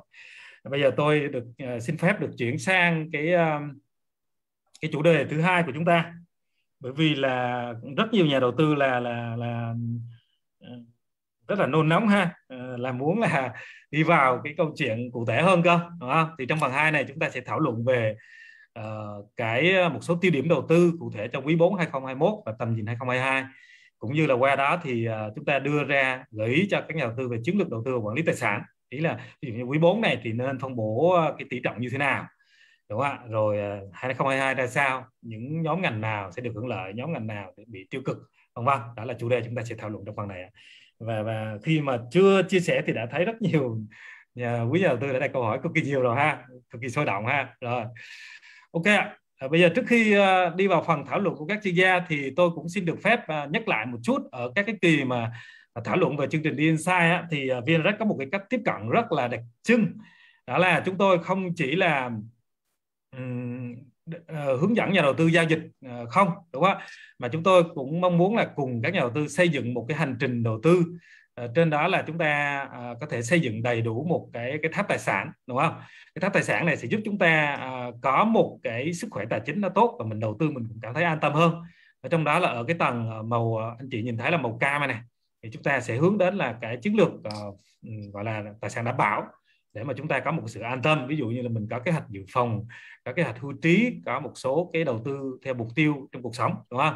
Xong cái tầng ở giữa là cái tầng mà anh chị nhìn thấy màu xanh lục ấy à, tầng đi qua đây là cái phần mà chúng ta hướng đến đầu tư tích sản dài hạn hơn rồi phân bổ giữa các loại tài sản như là uh, cổ phiếu bất động sản rồi trái phiếu cho nó phù hợp trong từng giai đoạn mà tí nữa các các các panelist sẽ chia sẻ với chúng ta. Rồi trên cái nền tảng mà xây dựng hai cái tầng đã vững chắc rồi thì mình mới à, có thể để một phần vô trong cái phần giao dịch để mình tối ưu thêm cái lợi suất đầu tư. Nhưng mà à, các anh chị lưu ý là cái phần giao dịch chứng khoán này á là nó mang tính chất ngắn hạn và nó luôn luôn cực kỳ thách thức. Cho nên là anh chị phải chú ý xây dựng cái điều kiện à, cho mình có đủ kỹ năng. Đó thì mình sẽ tối ưu được cái lợi suất đầu tư của chúng ta. Đó thì thì mình xin nhắc lại cái phần này một chút. Để tí nữa các chuyên gia khi mà chia sẻ thì mình cũng có thể uh, cân bằng giữa cái yếu tố ngắn trung hạn và dài hạn như nào uh, cho các nhà đầu tư ha. Ok, à, nói về câu chuyện về à, gợi ý các cái điểm nhấn đầu tư và tiêu điểm à, cho năm 2022 thì à, các anh chị có thể tham khảo trong cái báo cáo chiến lược gần đây của khối phân tích. Thì có đưa ra một số cái câu chuyện chính mà mình xin chiếu lên slide này để nhắc lại cho các anh chị để chúng ta làm cái nền tảng chúng ta thảo luận trong cái phần này. À, đúng không các nhà đầu tư cũng đang rất là nóng ruột là muốn hỏi xem là ngành nào sẽ có triển vọng đúng không? Thế thì à, đây là có bốn câu chuyện. Một là cái nhu cầu hồi phục mạnh mẽ Ờ, khi mà kinh tế toàn cầu ờ, tăng tốc Đấy, thì, thì trong cái chủ điểm như này á thì khối phân tích cả đánh giá tích cực với các cái nhóm ngành có tỷ trọng xuất khẩu lớn ví dụ như là dệt may này xuất khẩu này ờ, thủy sản này gỗ các sản phẩm gỗ cao su và thép. Logistics và bất động sản khu công nghiệp cũng sẽ là những ngành mà được hưởng lợi từ cái chủ điểm này. Đó, một số cổ phiếu thì cũng có gửi ở đây. Ví dụ như là KBC HBG STK và VHC thứ hai là trên cái nền tảng cái chủ điểm là À, đẩy mạnh tiêm vaccine sẽ là cú hích lớn cho các cái nhóm ngành dịch vụ vốn là bị tác động rất mạnh trong à, cái đại dịch covid làn sóng lần thứ tư thì khi mà hồi phục lại thì nhóm ngành dịch vụ sẽ được à, có triển vọng ví dụ như là À, trong ngành à, có BNJ, VRE hay là MWG. Thứ ba là câu chuyện phát triển cơ sở hạ tầng năng lượng sẽ nóng trở lại. Đúng không? Thì có các cái nhóm ngành như là trong nhóm ngành như là ACV trong hàng không, gas hay là Pao là HHV. Cuối cùng là bất động sản là lựa chọn đầu tư theo chu kỳ. Ờ, đó thì có các cái gợi ý ờ, trong cái ờ, nhóm ngành này. Đó là một số cái tiêu điểm mà tôi điểm lại trong cái báo cáo chiến lược gần đây nhất của khối phân tích thôi. Còn lại thì tôi vẫn muốn là dành cái cái, cái view cụ thể cho các panelist của chúng ta. À, có mấy câu hỏi rất quan trọng này. Thứ nhất là chiến lược về phân bổ tài sản cho quý 4 thì nên như thế nào là phù hợp nhất? Và cho tầm nhìn dài hơn thì nên như thế nào? À, chúng ta có thể cân bằng cái chiến lược đầu tư cho tầng đi wow tức là tích sản dài hạn thì chúng ta nên đưa ra cái chiến lược làm sao cho nó phù hợp. Và nếu mà cần phân bổ cho cái tầng đi stock và ngắn và trung hạn thì chúng ta chiến lược nên như thế nào? Các nhà đầu tư cần chuẩn bị điều gì? À, không biết là các panelist đã rõ cái cái câu hỏi của mình chưa? À, chúng ta có thể chọn chúng ta trả lời một góc nào đó cũng được nhé. À, mình mình muốn đặt câu hỏi nó nó rộng một chút để cho các nhà, các panelist có thể thoải mái chọn cái phương án mình chia sẻ cũng được à, chắc là mình xin mời uh, chia sẻ của bạn uh, Tuấn Hoàng đấy trưởng phòng uh, trung tâm phân tích đầu tư VNREX có thể chia sẻ cái view đầu tư của em và phân bổ tài sản như nào cho các phân lớp này xin mời Tuấn ạ. Vâng ạ, chúng ta sẽ nói đến mảng chứng khoán trước ạ. thì uh, trong chứng khoán mà nếu như nhìn trong tầm nhìn từ uh, cuối năm nay trước đi chúng ta nhìn trong cuối năm nay trước uh, và sau đó chúng ta sẽ nhìn đến quý 1 sang năm thì uh, trong cái đấy thì hiện tại theo quan điểm của Tuấn thì nó đang có ba ba cái hướng đầu tư mà chúng ta thể quan tâm đến. Một đó là việc thay đổi thói quen người tiêu dùng. Khi mà covid xảy ra thì khiến cho thói quen người tiêu dùng thay đổi. Và khi thay đổi thói quen người tiêu dùng thì có một số công ty chết đi và một số công ty uh, lại mạnh mạnh mẽ hơn. Đó. Thế thì theo cái câu chuyện đầu tiên đó là câu chuyện thói quen người tiêu dùng đó là thế giới ờ, thế giới động chẳng họ có mảng bách hóa xanh và mảng bách hóa xanh rất nhiều năm ở trong trạng thái uh, phát triển rất là chậm. Ờ, không phát triển chợ ở đây nghĩa là không vượt qua được cái điểm hòa vốn. Thì bây giờ nhiều khả năng là họ sẽ bắt đầu có thể có cơ hội vượt qua điểm hòa vốn. Ờ, và cái thói quen người tiêu dùng thay vì ngày xưa mua tại tại chợ thì bây giờ một số lượng rất nhiều người đã chuyển dịch sang mua uh, tại uh, tại cửa hàng của thế giới động. Đó thì đấy là một địa điểm mà tôi nghĩ rất là ok. Bên cạnh đó thì những công ty kiểu chứng khoán hạn như đơn giản như chứng khoán thôi thì quý vị có rất nhiều quý vị à, trước đây chưa bao giờ nghĩ đến chứng khoán thì nhờ covid và nhờ có nền tảng công nghệ của công ty chứng khoán rất là tốt quý vị ở ngồi ở nhà quý vị chuyển sang mua chứng khoán thì đó cái ngành chứng khoán nó tăng trưởng rất là mạnh mẽ thời gian qua hay là à, thế giới động. Rồi hay chẳng hạn như những người xây dựng cho nền tảng cho ờ, ngày xưa người ta không sử dụng nhiều đến cái hạ tầng công nghệ bây giờ người ta công nghệ nhiều hơn. Đó như kiểu FPT thì ba cái cái loại thì à, ba ngành như thế là ngành mà thay đổi quen sử dụng theo uh, sau dịch covid thì câu chuyện uh, đấy nó đã diễn ra rồi và tôi nghĩ rằng là hết quý một năm nay và quý hai sang năm cũng tiếp tục diễn ra và nó thể kéo dài đến 2022 chẳng hạn. Thì sau 2022 chúng ta theo dõi tiếp.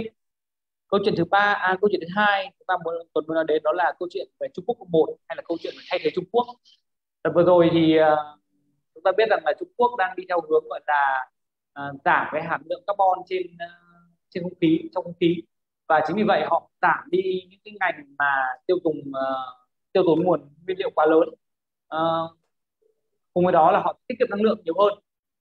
Thì những cái ngành rất nhiều ngành đẩy chuyển sang các nước khác trong đó Việt Nam gồm có như là thép này. Như đợt này ngày chúng ta cần phải lưu ý rằng là Trung Quốc là sản xuất đến hơn một tỷ tấn thép chiếm 56% toàn cầu. Và khi mà họ giảm cái lượng xuất đấy uh, thì ngày xưa họ xuất khẩu khoảng 53 triệu tấn bây giờ họ giảm cái phần đấy thì cái phần đấy dành cho ai thì dành cho rất nhiều nước khác. Và ờ, Tuấn muốn lưu ý rằng là Việt Nam, cả Việt Nam mình xuất đâu đó chỉ 20 triệu tấn thép mà thôi. Đó. Thế thì cái cơ hội cho Việt Nam mà để phát triển ngành thép còn rất là lớn. Đó thì ví dụ như Hòa Phát, một doanh nghiệp rất là đáng để chúng ta theo dõi. Đương nhiên thì bên cạnh đó, những công ty mà xuất khẩu thép rất là tốt như kiểu Pasen Nam Kim ta để theo dõi thêm. Như vậy để mức độ an toàn chắc chắn và rủi ro thấp thì tôi nghĩ là Hòa Phát là viên khá là hay. Rồi, sau đó thì những công ty kiểu xuất khẩu phốt pho này chẳng hạn đấy, hay là xi măng vân vân. Thì đấy là những cái công ty mà thiên theo câu chuyện hai là câu chuyện về thay thế Trung Quốc. Và câu chuyện thứ ba thì nó dài hơn. Nó sẽ là câu chuyện về xe điện. Thì câu chuyện này xe điện nó phải kéo dài. Chúng ta phải sẽ thấy rằng là nó sẽ tà tà đi lên cho đến đến 2025 cơ. Thì trong cái câu chuyện mà xe điện đấy thì uh, Việt Nam mình vẫn đang đang trong thời kỳ mà xây xây dựng cái nền tảng xe điện để chạy được. Thì để có nền tảng đấy thì có rất nhiều các nguồn năng lượng điện mọc lên đặc biệt là điện gió thì phần năng lượng tái tạo đấy thì sẽ có một số công ty được lợi như là TP2 này họ làm thiết kế điện hay là à, uh, PC1 họ cũng, cũng xây dựng cái điện tái tạo rất là nhiều. Đó thì ba câu chuyện đấy thì quý vị có thể lựa chọn phân bổ tài sản cho à, giai đoạn quý 4 năm nay và quý 1 sang năm. Đặc biệt là Hòa Phát à, thép tức là thép ấy thì bởi vì Trung Quốc hiện tại họ đang sắp down rất nhiều nhà máy cho nên thành ra là cái giai đoạn của quý 4 năm nay quý 1 sang năm rất rất là tốt cho cái cái ngành này. Đó, thì đấy là câu chuyện thứ nhất về câu chuyện về uh, đầu tư gì trong uh, quý 4 năm nay và quý 1 sang năm. Còn phân bổ tài sản thế nào thì, thì thì anh Quang đã chia sẻ rồi đó là chúng ta có một cái tháp tài sản rất là tốt và quý vị có thể uh, phân bổ tài sản sao cho nó an toàn nhất. Thì có một cái phương án của OVR Portfolio tức là cái mục còn tiết của Daydalo đưa ra đấy. Thì quý vị có thể uh, đầu tư người ta bách test rồi là 30% vào cổ phiếu. 50% vào trái phiếu và số còn lại vào à, vàng thì à, nó sẽ tạo ra một cái một cái tăng trưởng tài sản rất là tốt trong dài hạn. Đó thì đấy là một vài quan điểm chia sẻ của Tuấn về câu chuyện này. Rồi ok. Vậy là cái phần chia sẻ của Tuấn mình có thể ờ, tổng kết lại các mấy cái điểm mà các quý nhà đầu tư cần lưu ý này. Thứ nhất là cho mục đích đầu tư của quý 4 2021 và quý 1 2022 thì uh, có ba câu chuyện đó một là về thay đổi thói quen. Thế thì những cái ngành mà được hưởng lợi là trong ngành à, bán lẻ như là MWG này ngành chứng khoán này rồi ngành công nghệ đó, ví dụ như FPT rồi thứ hai là câu chuyện Trung Quốc cộng một. Thì có những cái ờ, nhóm như là thép và và anh Tuấn nhấn mạnh rất nhấn mạnh đến đến câu chuyện của thép. Thứ hai là ờ, nhóm sản xuất và xuất khẩu phốt pho và xi măng. Đó là những cái nhóm trong câu chuyện của Trung Quốc cộng một uh, Trung Quốc ý là Trung Quốc thay đổi cái ờ, cái cái ờ, cái, cái, chính sách của họ ha. thứ ba là câu chuyện của xe điện thì cũng có một số cái doanh nghiệp được hưởng lợi trong câu chuyện này. Rồi và về cái phân bổ tài sản thì anh Tuấn có gợi ý là mọi người nghiên cứu cái danh mục của On Weather Portfolio của Ray Dalio ha. À, thì các anh chị cứ tìm hiểu thêm cái phần đó thôi. À, ok mình mời thêm cái sự bổ sung à, từ ngoài cái quan điểm của của Tuấn như vậy thì à, à chúng ta có thể bổ sung thêm cái, ờ, cái cái quan điểm chiến lược đầu tư phân bổ tài sản cũng như là gợi ý một số nhóm ngành cho các nhà đầu tư có thể chọn trong uh, quý 4 cũng như là 2022 à, chắc xin mời sự bổ sung của của Hoàng Cao đi ạ. Mời Hoàng. Vâng, về uh, chiến lược uh, phân bổ tài sản trong quý 4 thì rõ ràng là trong cái bối cảnh hiện tại là ba quý đầu năm là thị trường của chúng ta tăng trưởng tương đối là tốt. à, cụ thể là VN Index đã tăng được 21 22% gì đó à, và rất nhiều những cái danh mục có mức tăng trưởng ờ, cao hơn. À, thì như vậy là ở thời điểm ba quý đầu năm là nhà đầu tư đã tương đối thành công với chiến lược gắn bó với cả cổ phiếu của mình. À, và cái thời điểm quý 4 khi mà những cái thông tin uh, xấu về GDP được đưa ra thì có một cái làn sóng uh, chốt lời cũng như là thận trọng nhất định. Uh, thì theo tôi thì bây giờ chúng ta nên có những cái suy nghĩ để tạo lập một cái danh mục đầu tư cho năm 2022 um, để chúng ta có một cái nhìn uh, chung và dài hạn thì chúng ta sẽ dễ dàng có thể uh, lựa chọn uh, cho danh mục của mình hơn. Uh, thay vì chúng ta cố gắng nhìn vào những cái um, cổ phiếu đang tăng trưởng quá nóng chúng ta hãy tập trung nhìn vào cái ngành nghề sẽ được hưởng lợi trong năm 2022 um, và tôi thì khác một chút với anh Tuấn là anh Tuấn có recommend về cái danh mục đầu tư all tức là 30% cổ phiếu đúng không? 20% vào vàng và phần còn lại là vào à, trái phiếu. Thì tôi thì tôi uh, có một niềm tin lớn vào nền kinh tế Việt Nam trong thời gian tới. Việc tăng trưởng của GDP thì tôi đang uh, áp dụng một cái danh mục đầu tư là từ 80% cho đến 100% vào cổ phiếu và 20% thì có thể đôi lúc là sẽ đầu tư vào trái phiếu ở những cái giai đoạn mà thị trường nó đang à, tăng trưởng tương đối là nóng, cũng như là chỉ số P trên E của thị trường à, ở cái mức à, trên 20 lần. Thì chúng tôi sẽ có thể cân nhắc cái việc là chuyển cái cái cái phần, một phần cổ phiếu sang trái phiếu. Còn ở thời điểm hiện tại, khi mà P trên E của thị trường Việt Nam đang là khoảng hơn 15 lần, thì chúng tôi đang áp dụng một cái chiến lược là là đi săn tìm những cái cổ phiếu uh, sẽ có ờ, triển vọng trong thời gian tới tốt và phân bổ 100% vào cổ phiếu ở thời điểm hiện tại. Um, về uh, đấy là danh mục dài hạn. Còn um, trong cái 100% đấy thì chúng ta hoàn toàn có thể phân bổ một phần vào cái danh mục uh, lướt sóng ngắn hạn. Uh, thì cái việc lướt sóng này thì rất nhiều những cổ phiếu penny hoặc là mid cap được vừa rồi có mức tăng trưởng rất là nóng. Thì uh, tuy nhiên thì cái cái này cũng là một con dao hai lưỡi thì có thể à, nhà đầu tư có thể lựa chọn một phần à, danh mục của mình. Tôi có thể nói về một con số ví dụ như là khoảng 20% danh mục và những cổ phiếu à, có có cái mức tăng trưởng rất là lớn tăng trần giảm sàn chẳng hạn. Nhưng mà ví dụ như là những cái, cái ngành nghề hưởng lợi ví dụ như đợt vừa rồi có cái về ngành hóa chất là những cổ phiếu đại diện như DGC hoặc là CSV chẳng hạn thì chúng ta cũng có thể phân bổ. Thì PE của những cổ phiếu đấy tăng trưởng rất là nhanh trong một thời gian ngắn thì khiến nhà đầu tư có thể um, mua lướt sóng theo. Thì đấy cũng là một phần trong cái danh mục đầu tư của mình. Tuy nhiên thì phần lớn danh mục uh, với tôi thì tôi đưa ra một con số là khoảng 8% danh mục đầu tư nên đầu tư vào đầu tư dài hạn. Tích sản thì có một cái mức tăng trưởng mình có thể dự báo được tốt hơn và tăng trưởng nó vững vàng. Hai con số. Rồi. Ok về cái à, cái cái um, nói chung là cái cái việc mà đưa ra cái quan điểm khác biệt trong cái thảo luận của panel là một cái điều mà sẽ giúp cho cái cuộc thảo luận nó hấp dẫn hơn đúng không ạ? Thì cái quan điểm của anh Hoàng thì uh, khác với anh anh anh, anh Tuấn đúng không ạ? Anh cho rằng là với cái cycle hiện tại và mặt bằng định giá của cái tài sản cổ phiếu thì anh ấy rất là tự tin là hoàn toàn có thể phân bổ một tỷ trọng rất lớn có thể lên đến 80 đến 100 phần trăm đúng không ạ? Cho cái ờ, cái cái cái phần mà danh mục dài hạn. Đấy, với còn lại thì có thể dành một phần cho cái cái cái phần ngắn hạn hơn. Mà tuy nhiên thì cũng lưu ý với cái nhà đầu tư là cái phần ngắn hạn thì nó luôn luôn hàm chứa khá nhiều rủi ro và nhà đầu tư phải ý thức được cái việc này và phải xây dựng đủ các cái điều kiện cho mình đúng không? thì thì mình mới uh, tránh được cả cái rủi ro biến động trong ngắn hạn ví dụ như 3 tháng vừa rồi mà cái nhà đầu tư lướt sóng ngắn hạn thì hầu như đều đều gặp rất nhiều khó khăn. Là nó ví dụ như vậy ha. Rồi uh, ở đây có thêm một cái câu hỏi cho Hoàng nữa là ở các cái nhóm ngành cụ thể Hoàng đây là em, em Hoàng vừa chia sẻ là cái cái cái chiến lược phân bổ đó tỷ trọng đúng không?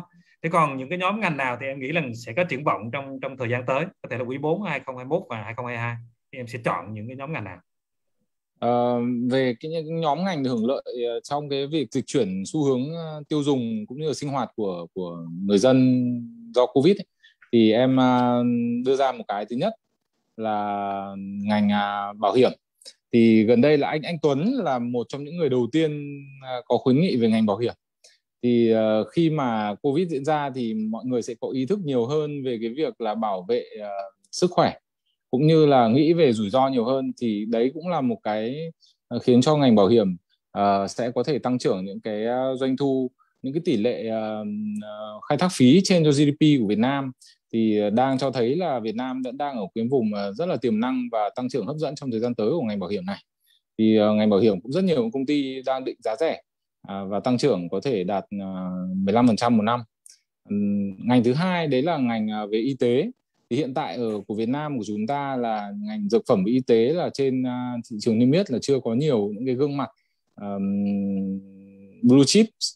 Tuy nhiên thì chúng ta cũng vẫn có thể lựa chọn một số những doanh nghiệp mà uh, Ờ, thuộc cái ngành uh, y tế bệnh viện là có cái quy mô vốn hóa uh, hiện tại hiện tại là đang khoảng một vài nghìn tỷ nhưng mà có thể tăng trưởng tốt hơn trong thời gian tới. Và ngành thứ ba đấy là thương mại điện tử thì có những gương mặt rất là sáng giá uh, trong uh, cái ngành thương mại điện tử này. Thì uh, trên thị trường niêm yết chúng ta thì có những cái blue chip rất là lớn uh, đấy là mobile world với cái triển vọng tăng trưởng uh, tốt của cái mảng bách hóa xanh trong thời gian tới hoặc là những cái doanh nghiệp khác về mảng thương mại điện tử có cái vốn hóa nhỏ hơn. Và ngành uh, hai cái ngành tiếp theo về vốn hóa lớn rất là quan trọng. Thì mặc dù là covid diễn ra thì ừ, những cái ngành này vẫn không mất đi cái vị thế của mình. Đấy chính là ngành ngân hàng và ngành bất động sản. Thì tôi lại thiên hơn về những cái uh, quy mô những cái ngân hàng hoặc là những doanh nghiệp bất động sản có quy mô vừa. Uh, thay vì chọn những cái doanh nghiệp có quy mô lớn nhất như cái giai đoạn hai năm vừa qua thì bây giờ trong năm 2022 thì chúng ta có thể lựa chọn cái doanh nghiệp có quy mô vừa phải.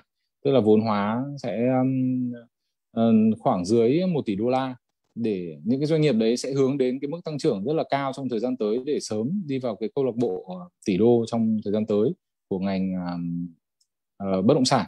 Còn ngân hàng thì có những cái doanh nghiệp uh, những cái ngân hàng uh, ở cái second tier những cái ờ, top 2 có cái mức tăng trưởng ROE rất là cao uh, được hạn mức tăng trưởng tín dụng cũng rất là tốt thì thì sẽ phục vụ cho cái giải ngân trong cái danh mục của các bạn sẽ tốt hơn trong trong thời gian tới. Đấy trên đây là khoảng 5 ngành. Rồi cảm ơn cái chia sẻ về view lựa chọn các ngành đầu tư của Hoàng ha. Như vậy là Hoàng bảo là sâu trong bối cảnh hậu Covid thì mọi người có ý thức hơn nên là sẽ ưu tiên nhóm ngành bảo hiểm này y tế này rồi thương mại điện tử này. À, ngoài ra thì có hai cái ngành xương sống của thị trường Việt Nam rất quan trọng là ngân hàng và bất động sản. Cũng uh, là một cái lựa chọn uh, nhưng mà Hoàng có đưa ra một quan điểm là nên chọn những cái uh, ngân hàng hoặc là bất động sản có quy mô vừa có vốn hóa dưới một tỷ đô mà đang trên con đường uh, tăng trưởng nhanh để hướng đến một tỷ đô ha và cái ROE cao. Đó là cái quan điểm như vậy. Thế còn chị Hiền chị Hiền có bổ sung thêm cái uh, quan điểm đầu tư uh, tiêu điểm nào cần lựa chọn để đầu tư cho quý 4 2021 và tầm nhìn 2022 không? Cũng như là dài hạn hơn thì uh, Hiền sẽ prefer sẽ ưa thích những nhóm ngành nào để ờ, đề xuất cho các nhà đầu tư? Um, chắc là bổ sung thêm ý kiến của anh Hoàng cũng như anh Tuấn thì uh, à, tôi muốn nói kỹ hơn đến uh, ngành ngân hàng. Thì hầu hết những các nhà đầu tư cũng rất là quan tâm đều ngành này và thứ nhất là à, tôi muốn giải thích vì sao là trong thời gian qua ngành ngân hàng à, cổ phiếu ngành ngân hàng có một cái sự sụt giảm khá là mạnh so với các ngành nghề khác. Bởi vì à, à như chúng ta đã biết thì nhìn bối cảnh chung của thị trường thì hầu hết các nhà đầu tư à, trong hai tháng vừa qua đều đang ở trong một cái tâm trạng là khá là lo ngại về cái việc mà bùng phát covid cũng như là về việc là à, bối cảnh kinh tế vĩ mô như thế nào. Do đó là cái cái cái cái việc mà các nhà đầu tư mà họ tập trung vào cái nhóm thường là không tập trung vào những nhóm cổ phiếu có vốn hóa lớn như là nhóm ngành ngân hàng hay nhóm bất động sản mà thay vào đó dòng tiền họ sẽ tìm kiếm lợi nhuận ở những cái nhóm mà ừ, cổ phiếu nhỏ hơn. À, tuy nhiên khi mà thị trường à, tại, tại thời điểm này khi tất cả những cái thông tin về dịch bệnh cũng như là bối cảnh vĩ mô đã tương đối là khá là rõ ràng chúng ta đã đã nhận biết tất cả những cái cái điểm tiêu cực à, của nền kinh tế thì tôi nghĩ là thị trường sẽ sẽ xác định được cái, cái hướng đi rõ ràng hơn. Thì lúc đấy dòng tiền sẽ có khả năng quay lại à, những cái cổ phiếu có vốn hóa lớn à, như là ngân hàng hoặc là bất động sản. À, về nhóm ngân hàng nói riêng về ngành ngân hàng thì hầu hết mọi người đều hình dung được bức tranh lợi nhuận nửa cuối năm 2021 sẽ chịu tác động lớn à, từ cái đợt bùng phát hiện tại à, khi mà tín dụng sẽ cầu tín dụng sẽ yếu đi à, chi phí dự phòng sẽ tăng cao cũng như là NIM à, đâu đó sẽ sẽ sẽ thu hẹp lại khi mà các ngân hàng phải à, giảm lãi suất để mà hỗ trợ các uh, doanh nghiệp. Do đó là bức tranh lợi nhuận của nhóm ngân hàng vào nửa cuối năm 2021 sẽ không có tươi sáng như năm như nửa đầu năm mà thay vào đó thì chúng ta sẽ nhìn vào cái triển vọng lợi nhuận của năm 2022. À, khi mà năm 2022 thì chúng tôi ước tính là à, lợi nhuận của nhóm ngành ngân hàng sẽ rơi vào đâu đó là 20%, tức là chúng ta vẫn mặc dù chúng ta không có tăng trưởng à, khoảng à, cao như 25% như năm 2021 nhưng mà con số 2 20% là một con số là khá là là là ổn định và có thể gọi là cao à, trong thời điểm này. Và cái cái điểm thứ ba là về cái phương tiện dòng tiền. Hiện tại thì chúng ta nhìn thấy là thanh khoản thị trường từ đầu năm đến nay vẫn khá là ổn và có xu hướng là tiếp tục tăng. Thì thì khi mà dòng dòng tiền với một cái dòng tiền lớn như thế thì khi mà thì chỉ có mỗi là ngành ngân hàng là một trong những ngành mà có cái vốn hóa lớn và có đủ sức thu hút vốn từ à, từ từ cái dòng tiền à, ngày càng tăng của các nhà đầu tư cá nhân. À, về định giá của các cổ phiếu ngân hàng hiện nay đã điều chỉnh ở khoảng mức là khoảng 15-16% so với mức đỉnh. Có nghĩa là phần nào những cái tác động tiêu cực của đợt bùng phát lần này đã được phản ánh vào giá. Do đó là tôi cho rằng là cổ phiếu ngân hàng hiện tại trở nên hấp dẫn hơn khi mà khi chúng ta cân nhắc giữa là rủi ro và hiệu quả đầu tư.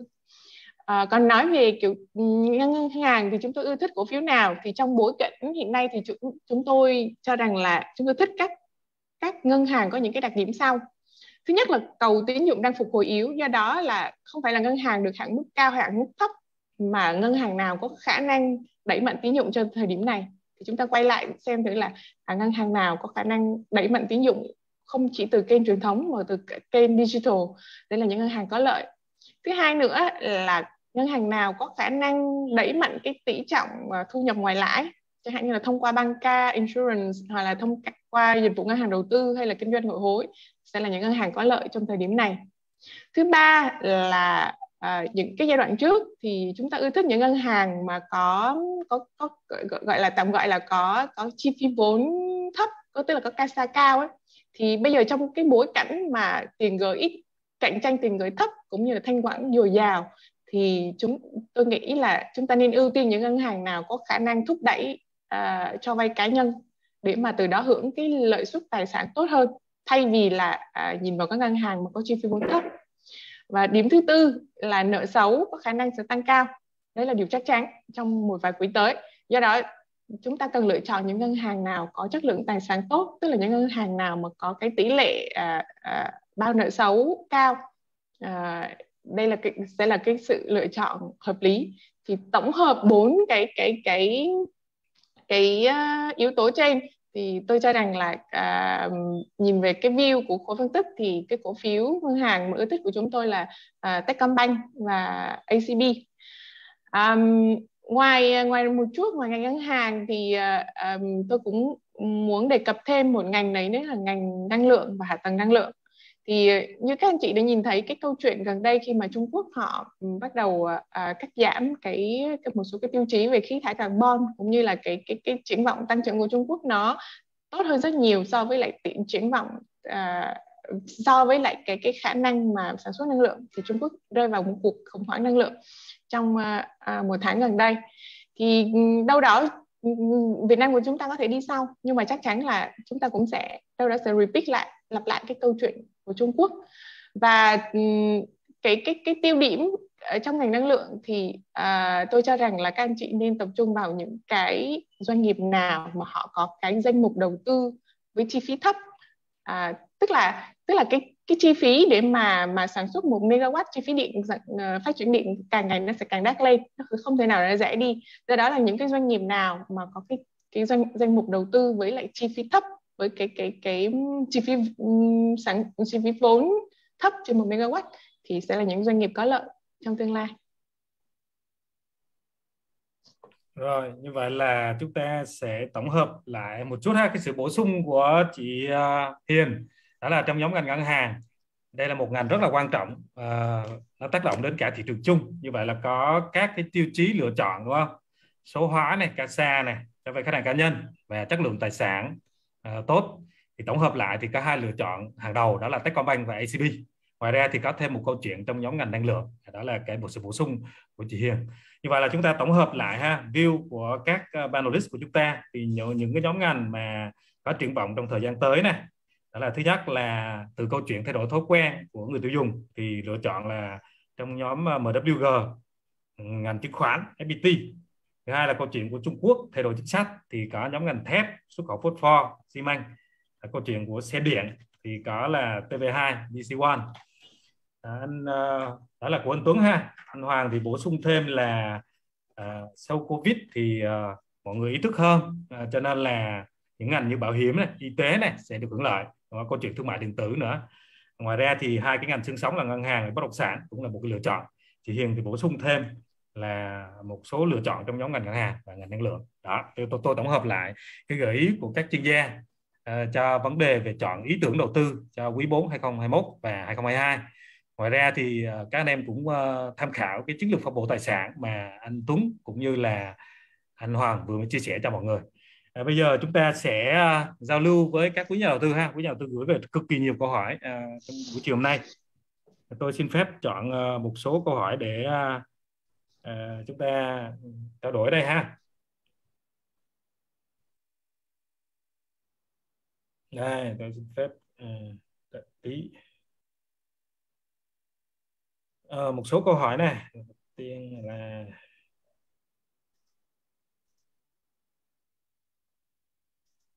Anh chị cho em hỏi dòng bất động sản quý 4 thế nào? Cổ phiếu nào được hưởng lợi nhất nhóm bất động sản? Câu này à, không biết là panelist nào muốn trả lời câu hỏi này ạ? À?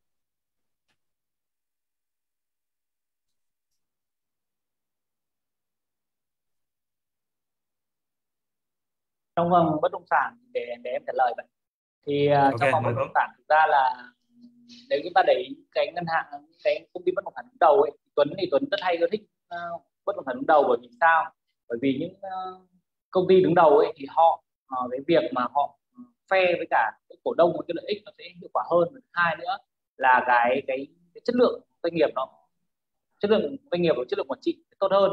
Thì trong cái doanh nghiệp đấy thì trong cái phần mà của anh Quang chia sẻ thì Tuấn ưa thích đồng ý quan điểm đấy là Tuấn rất là ưa thích uh, Vinhome với Nam Long.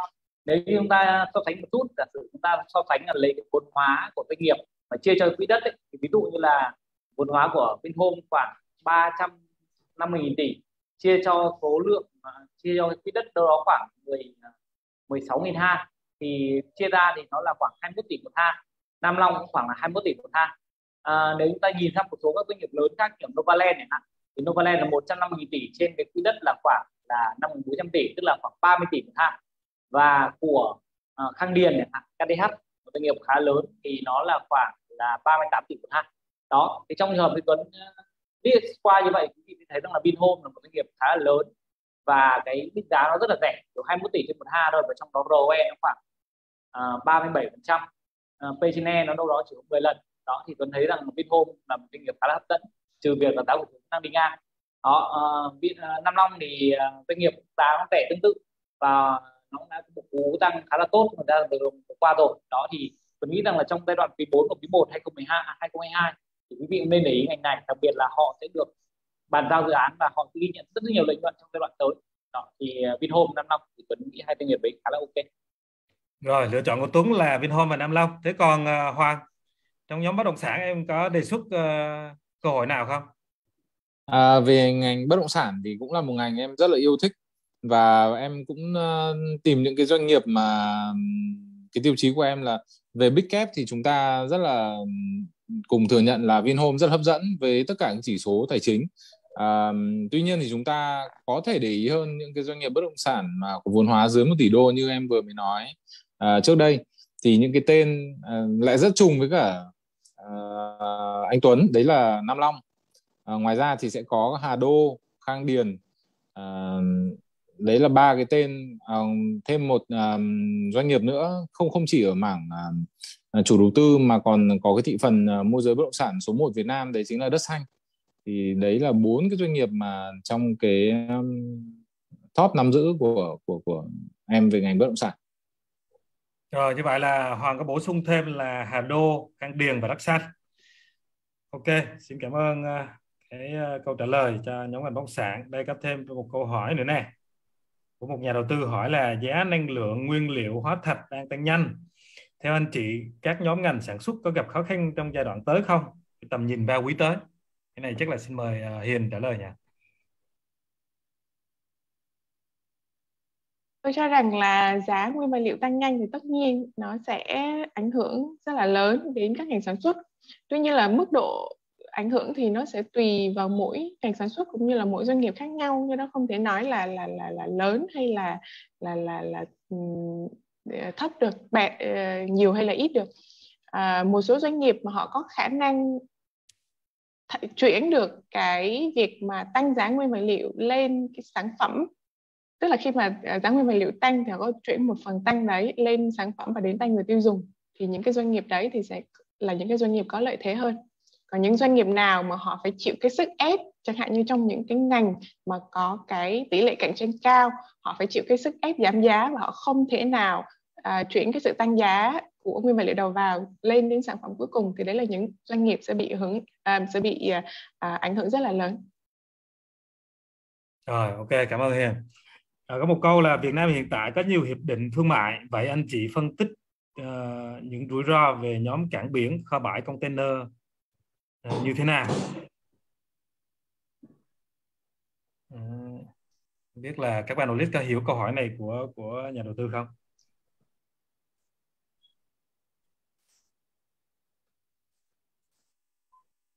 Ý là nhóm cảng biển và kho bãi container. Ừ. thì thế nào? Vâng, vâng này em xin trả lời câu hỏi này. À, mời thì tôi. Uh, có một đặc điểm lớn nhất của đối với ngành uh, kho bãi container Việt Nam ấy thì chúng ta biết rằng là nếu như Việt Nam trở thành một uh, doanh nghiệp mà à, xin lỗi đất nước Việt Nam mình trở thành một cái công sở sản xuất của thế giới thì rõ ràng là xuất nhập khẩu sẽ ngày càng lớn lên. Chúng ta nên nhớ rằng là cái cái tỷ lệ xuất nhập khẩu trên GDP uh, của mình sẽ luôn luôn trên 200 phần trăm đó thế thì uh, trong trường hợp như vậy thì Tuấn cho rằng là ngành ờ, cảng biển container kho bãi đều đều có rất nhiều cơ hội. Tuy vậy thì chúng ta cần phải nhìn lại một vấn đề rằng là trong ngành này ấy, thì không có ông nào mà leading được trong ngành cả. Nó rất là phân mảnh uh, ờ, kể cả anh cũng bản cắt lái thôi tức là cái cái hầu như là người ta phải mở thêm một cảng mới rất là dễ dàng tức là uh, nó nó rất là phân mảnh thì bù lại thì chỉ khi nào quý vị đầu tư ấy, thì quý vị nên tập, tập trung vào những doanh nghiệp mà cái cái cảng của họ ấy, họ xây trước và họ có uh, những vị trí đắc địa hơn. Hiện tại ví dụ như là GMD thì họ cũng đang có cái cảng rất là tốt như vậy.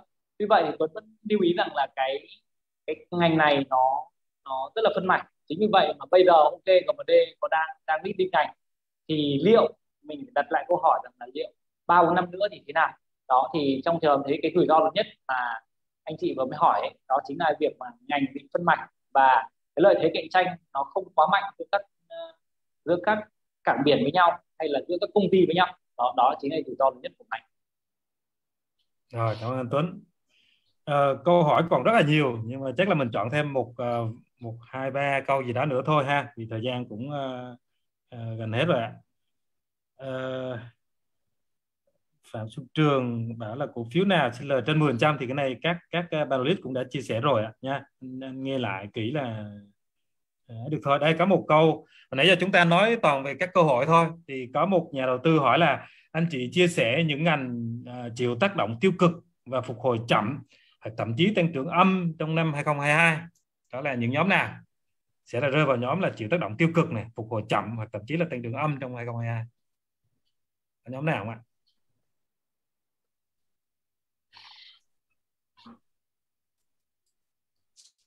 Vâng, đây để em xin trả lời trước. À, vâng, rồi, xin mời Tuấn. Vâng, thì uh, Tuấn Tuấn Tuấn, trả lời đi. Ừ. Vâng, thì trong cái vấn đề mà ngành nào tiêu tiêu cực ấy, thì chắc chắn rằng là uh, một là những ngành mà có cái sự thay đổi quen người tiêu dùng. Uh, thì uh, ví dụ như những, những cái công ty mà ngày xưa làm công ty về bán hàng truyền thống thì bây giờ họ không thay đổi kịp, họ sẽ tác động tiêu cực rồi đúng không ạ? Và thứ hai nữa là uh, những ngành mà vẫn phục hồi rất là chậm chạp do cái người dân bị, bị tác động tiêu cực về cái thu nhập và uh, và cái thói quen uh, tức là cái cái sự phục hồi khi mà họ đã có những cái cái công nghệ mới. Đó thì, thì ví dụ như ngành uh, dịch vụ hàng không chẳng hạn ngành hàng không uh, tôi nghĩ rằng sẽ phục hồi khá là chậm chạp. Uh, nhất là trong điều kiện mà, mà các biến chủng mới vẫn đang tiếp tục xuất hiện và nhà nước thì sẽ ok là vẫn vẫn mở cửa để phát triển kinh tế. Nhưng dù sao thì uh, cái tỷ lệ mà du lịch rồi vân vân mọi thứ sẽ chậm hơn. Đó nhất là khi công nghệ phát triển mạnh hơn thì Tuấn đang nghĩ đến ngành du lịch. Đó thì đấy là một vài quan điểm của Tuấn về về một số ngành bị ảnh hưởng tiêu cực phục hồi. Rất là chậm à, tôi bổ sung thêm thêm một chút bổ sung thì, quan quan điểm của anh Tuấn. Tức là mọi người đều nhìn nhận là những cái ngành mà sẽ có đà phục hồi chậm như là hàng không du lịch thì cái đấy mọi người cũng đã nhìn thấy rồi. Tuy nhiên mọi người cần phải lưu ý là có những khá là nhiều ngành mang tính chất là chu kỳ và phụ thuộc vào cái việc tăng giảm của giá cả hàng hóa. Mà cho nên là khi mà các những ngành này có cái sự tăng trưởng lợi nhuận tốt trong năm 2021 thì chưa chắc năm 2022 thì giá tiếp tục tăng để mà có sự tăng trưởng dương. Thì ở đây tôi muốn nêu một số ngành mà ừ, chúng ta cần phải lưu ý như là những cái ngành ờ, trong thuộc nhóm hóa chất liên quan đến à, phân đạm chẳng hạn thì à, năm 2021 đã có cái mức tăng trưởng khá là ấn tượng phải uh, gần 30% thì năm 2022 đâu đó chúng ta phải lưu ý là có thể là tăng trưởng của họ sẽ là tăng trưởng âm khi mà cái giá cả hàng hóa không không không không có hỗ trợ cho cho không tiếp tục hỗ trợ.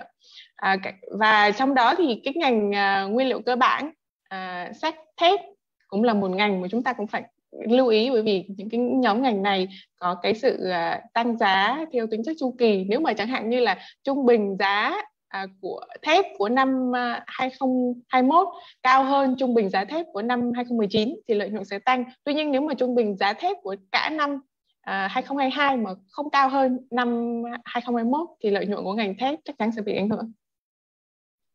Rồi xin cảm ơn sự bổ sung uh, của của Hiền ha ở đây có một nhà đầu tư hỏi là các anh chị cho view về nhóm doanh nghiệp hưởng lợi từ đầu tư công và một số cái tên đáng chú ý để xem xét. Đợt vừa rồi nhóm cổ phiếu này tăng khá mạnh rồi thì còn cơ hội nào còn hấp dẫn nữa không ạ? Xin mời các bạn panelist ạ. Câu chuyện đầu tư công. À, tiếp tục một chút về câu chuyện đầu tư công thì à, cái cái cái sự hưởng lợi của đầu tư công nó khá nó khá là rộng có nhiều doanh nghiệp trong cái chuỗi này được hưởng lợi từ đầu tư công. Tuy nhiên là tôi muốn nhấn mạnh là năm nay đầu tư công khác hơn mọi năm. Tôi sẽ tập trung ở hai câu chuyện. Thứ nhất là năng lượng và thứ hai là là hạ tầng hàng không. Mà trong đó ngành năng lượng là một trong những cái ngành mà sẽ được hưởng lợi nhiều nhất. Khi chúng ta nhìn thấy là không chỉ đầu tư công mà cả rất là nhiều cái dự án à, về năng lượng trong thời gian gần đây được khởi công. Do đó là à, tôi cho rằng là à, cái cái cái nhóm cổ phiếu mà liên quan đến hạ tầng năng lượng như là PV Power hay là gas à, sẽ là những nhóm được hưởng lợi trong thời gian tới. Còn à, riêng về cơ sở à, hạ tầng hàng không thì chúng ta có ACV cũng là một trong những à, cổ phiếu sẽ được hưởng lợi kép từ việc phục hồi du lịch hàng không và à, từ việc là đầu tư phát triển hạ tầng hàng không. Ờ, ngoài vấn đề về, đầu tư công dạng đó thì Tuấn nghĩ rằng là à, chúng ta ngoài thép này à, Hòa Phát sẽ được hưởng lợi từ đầu tư công này.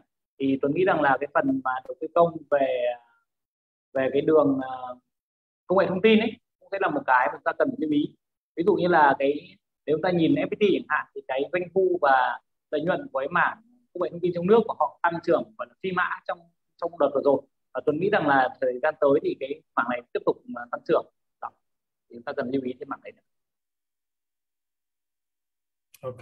Về mảng đầu tư công thì rõ ràng là chúng ta thấy là đây là một cái chuỗi giá trị rồi.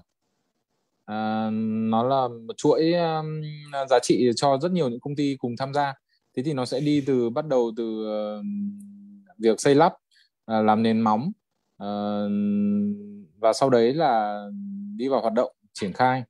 À, thì những cái doanh nghiệp đầu tiên sẽ được hưởng lợi trong cái quá trình đầu tư công. Đấy là cung cấp nguyên vật liệu cho cái việc giải ngân à, sắt thép à, đá à, những cái doanh nghiệp xây lắp sẽ có được cái doanh thu từ những công trình à, được hạch toán. À, và sau đấy sẽ là những cái đơn vị vận hành những cái công trình ví dụ như là ACV thì nó sẽ là một cả một cái chuỗi như vậy và rất nhiều doanh nghiệp sẽ cùng được hưởng lợi. Thì trong à, ví dụ trong chuỗi xây lắp thì chúng ta lại nhặt ra được ờ, một số những doanh nghiệp có cái um, năng lực quản trị tốt cái tham vọng của ban lãnh đạo ừ, và có khả năng triển khai tốt trong cái giai đoạn uh, 2022 uh, thì ví dụ như là làm nền móng thì chúng ta cũng phải có thể uh, nhìn nhận vào phe con. Uh, tuy nhiên thì cái công ty này thì với cái vốn hóa tương đối là nhỏ.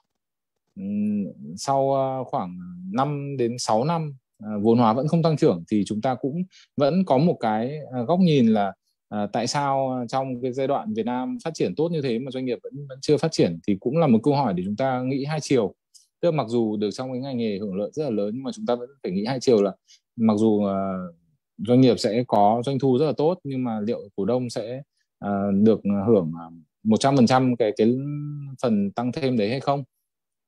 À, hoặc là những cái doanh nghiệp mà trong lĩnh vực xây lắp như là Hòa Bình, uh, Cô Tích Công hoặc là gần đây có một cái tên như là C4G hay là Đạt Phương cũng là doanh nghiệp uh, xây lắp tầm trung uh, có thể chú ý trong lĩnh vực đầu tư công. Uh, về uh, mảng uh, nguyên vật liệu đầu vào cho cung cấp cho cái quá trình uh, triển khai xây lắp thì chúng ta rõ ràng là có Hòa Phát uh, đại diện cho lĩnh vực sắt thép rất là đáng tin cậy. Hoặc là những doanh nghiệp về đá ở cái khu vực ờ, ở gần sân bay Long Thành hoặc là uh, những cái uh, mảng về công nghệ thông tin uh, về lĩnh vực đầu tư công triển khai về số hóa uh, như anh Tuấn nói thì cũng có những gương mặt như là FPT hay là CMG à, đấy là những doanh nghiệp mà theo tôi đánh giá là cũng có thể hưởng lợi cho cái lĩnh vực đầu tư công này. Tuy nhiên thì à, như nhắc lại một lần nữa là cái việc đầu tư công đấy sẽ là một cú hích cho toàn nền kinh tế và có những doanh nghiệp được hưởng lợi trực tiếp như chúng ta vừa nói nhưng mà có những doanh nghiệp cũng được hưởng lợi gián tiếp như là ngân hàng hoặc là bất động sản thì những cái khu đất mà gần những cái dự án hạ tầng ờ, mới thì chắc chắn là cũng sẽ được hưởng lợi thì nó sẽ là một cú hích cho toàn nền kinh tế Việt Nam và thị trường chứng khoán. Rồi, xin cảm ơn Hoàng. À, chắc là mình chọn một câu cuối cùng nhé, trước khi mình khảo sát nha anh chị cho quan điểm về à, đầu tư nhóm ngành dầu khí ở giai đoạn này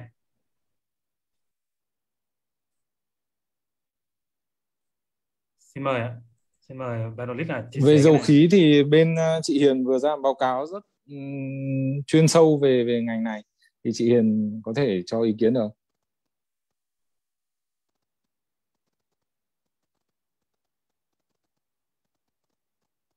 về vâng, nhóm ngành về uh, nhóm ngành dầu khí thì um, uh, nếu mà nhìn ở trong cái cái cái cái cái góc độ đầu tư ngắn hạn hơn tức là trong ờ, ba ba bốn tháng tới thì ờ, cái ừ, các cổ phiếu trong nhóm dầu khí sẽ không có ghi nhận cái mức lợi nhuận cao như như chúng ta sẽ kỳ vọng.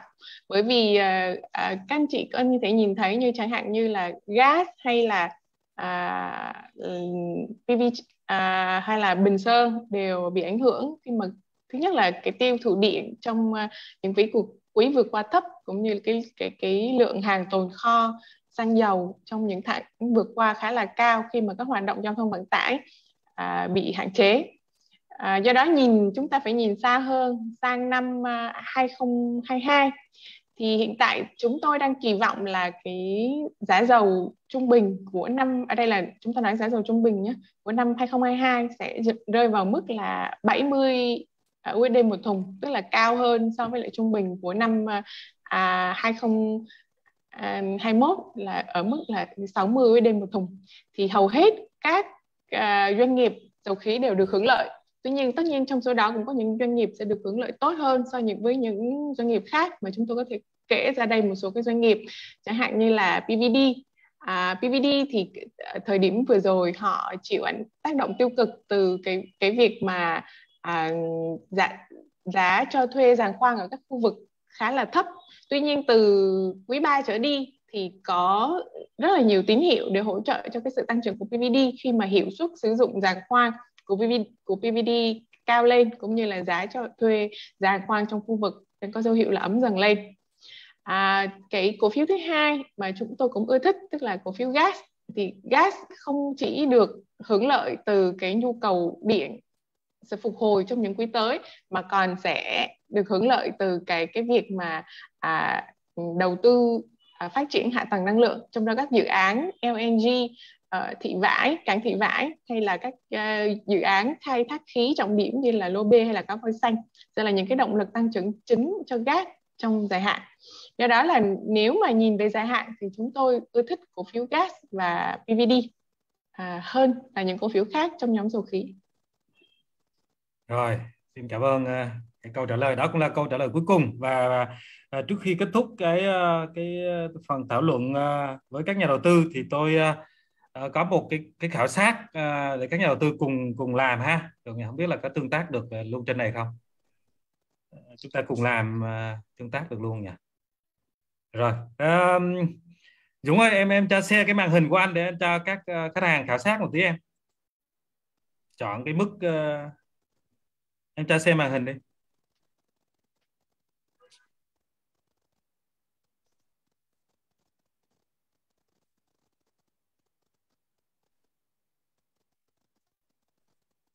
Alo Dũng ơi. Rồi à, các nhà đầu tư ờ, chúng ta lại cùng làm cái cái khảo sát này nhé các anh chị có thể lấy cái điện thoại à, à, của mình ra vào cái trang web là www.menti.com đúng không mình nhắc lại này trang web là www.menti.com và khi nó hiện ra cái ô thì mình gõ cái code là 8450 2866 đúng không chúng ta sẽ có hai câu hỏi chúng ta khảo sát cùng nhau vui vui ha. Về ờ, dự đoán ờ, chỉ số VN Index và và lựa chọn các cổ phiếu ạ. Hai câu thôi. À, Tùng ơi em em em lấy cái này em bet vô trong cái comment đó, để cho các nhà đầu tư dễ đọc em nhé. À, được chưa? Đấy. câu đầu tiên là à, sẽ ở mức nào ở thời điểm cuối năm 2021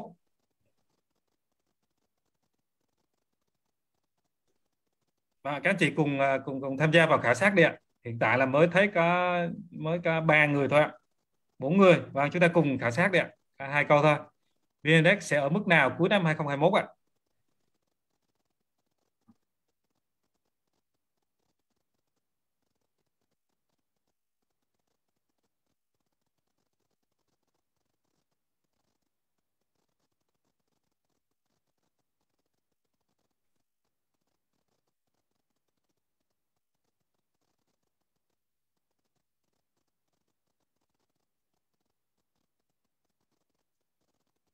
Rồi, hiện tại là đa số các nhà đầu tư là đang chọn phương án là vẫn tiếp tục đi ngang suốt quý tư luôn ha. Không biết là các chuyên gia analyst của chúng ta có đồng ý với ờ, với với với cái lựa chọn này không? Anh Hoàng thì sao? Là Hoàng nghĩ là là à, cuối 2021 ở mức nào? Thực thực ra cũng thú thật là là tôi cũng đã chọn cái ờ, một trong 17 ờ, người đang nghìn ba, nghìn tư này. Tức là mình cũng ờ, có một cái nhìn rất là tích cực về tăng trưởng mỗi một, nói chung là tăng 50% trong vòng 3 năm. Tức là view lên khoảng một nghìn à hai nghìn điểm. Thì tuy nhiên thì trong riêng quý 4 tức là mình cái thời điểm là gì? Tức là ba quý đầu năm là chúng ta là đã có những cái gì đấy cần bảo toàn. Với cái mức tăng trưởng của các danh mục nếu mà theo indexing là cũng trên 20% rồi thì thường ở thời điểm quý 4 là cái thời điểm mà mọi người cũng uh, muốn có một cái gì đấy nó chắc chắn.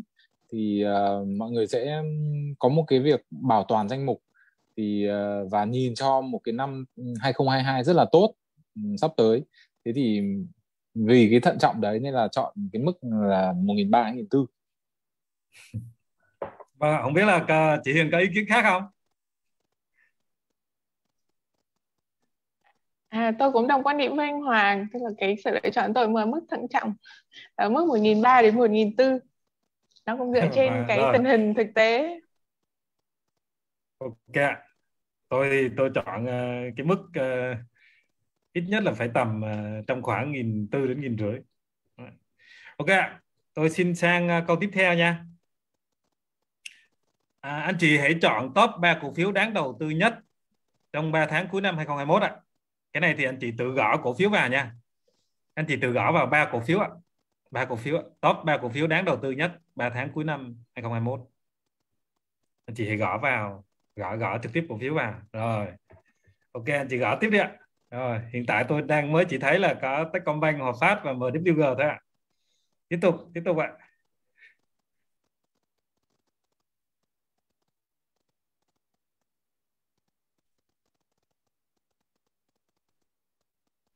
Xong mình sẽ chụp và ghi lại kết quả này nhá để gửi lên trên ờ, ờ, cái, cái cái livestream để các chị thể tham khảo luôn. Cái view như nào. Wow. Cái giờ tôi hiện tại là tôi đang thấy là Techcom, Hòa Phát và Vinhome là ba cổ phiếu đang được chọn nhiều nhất. À, bên cạnh là có MWG nữa. KBC VND FPT gas khá nhiều người chọn gas ha. VND FPT Hòa Phát và Techcombank vậy đang khá ổn định. Phong độ.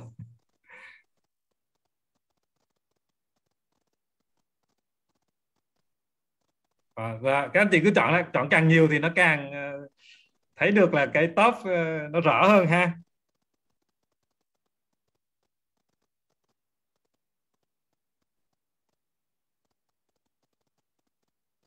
Rồi nãy giờ là mình thấy là thứ tự có thể thay đổi nhiều nhưng mà vị trí ổn định nhất là vẫn thuộc về à, Techcombank, Hòa Phát, FPT, MWG, đó, MBB, Masan, Vinhome, Gas, VND, Vinamilk nữa, Vinamilk đang rơi vào trong, trong nhóm rồi ha, KBC nữa.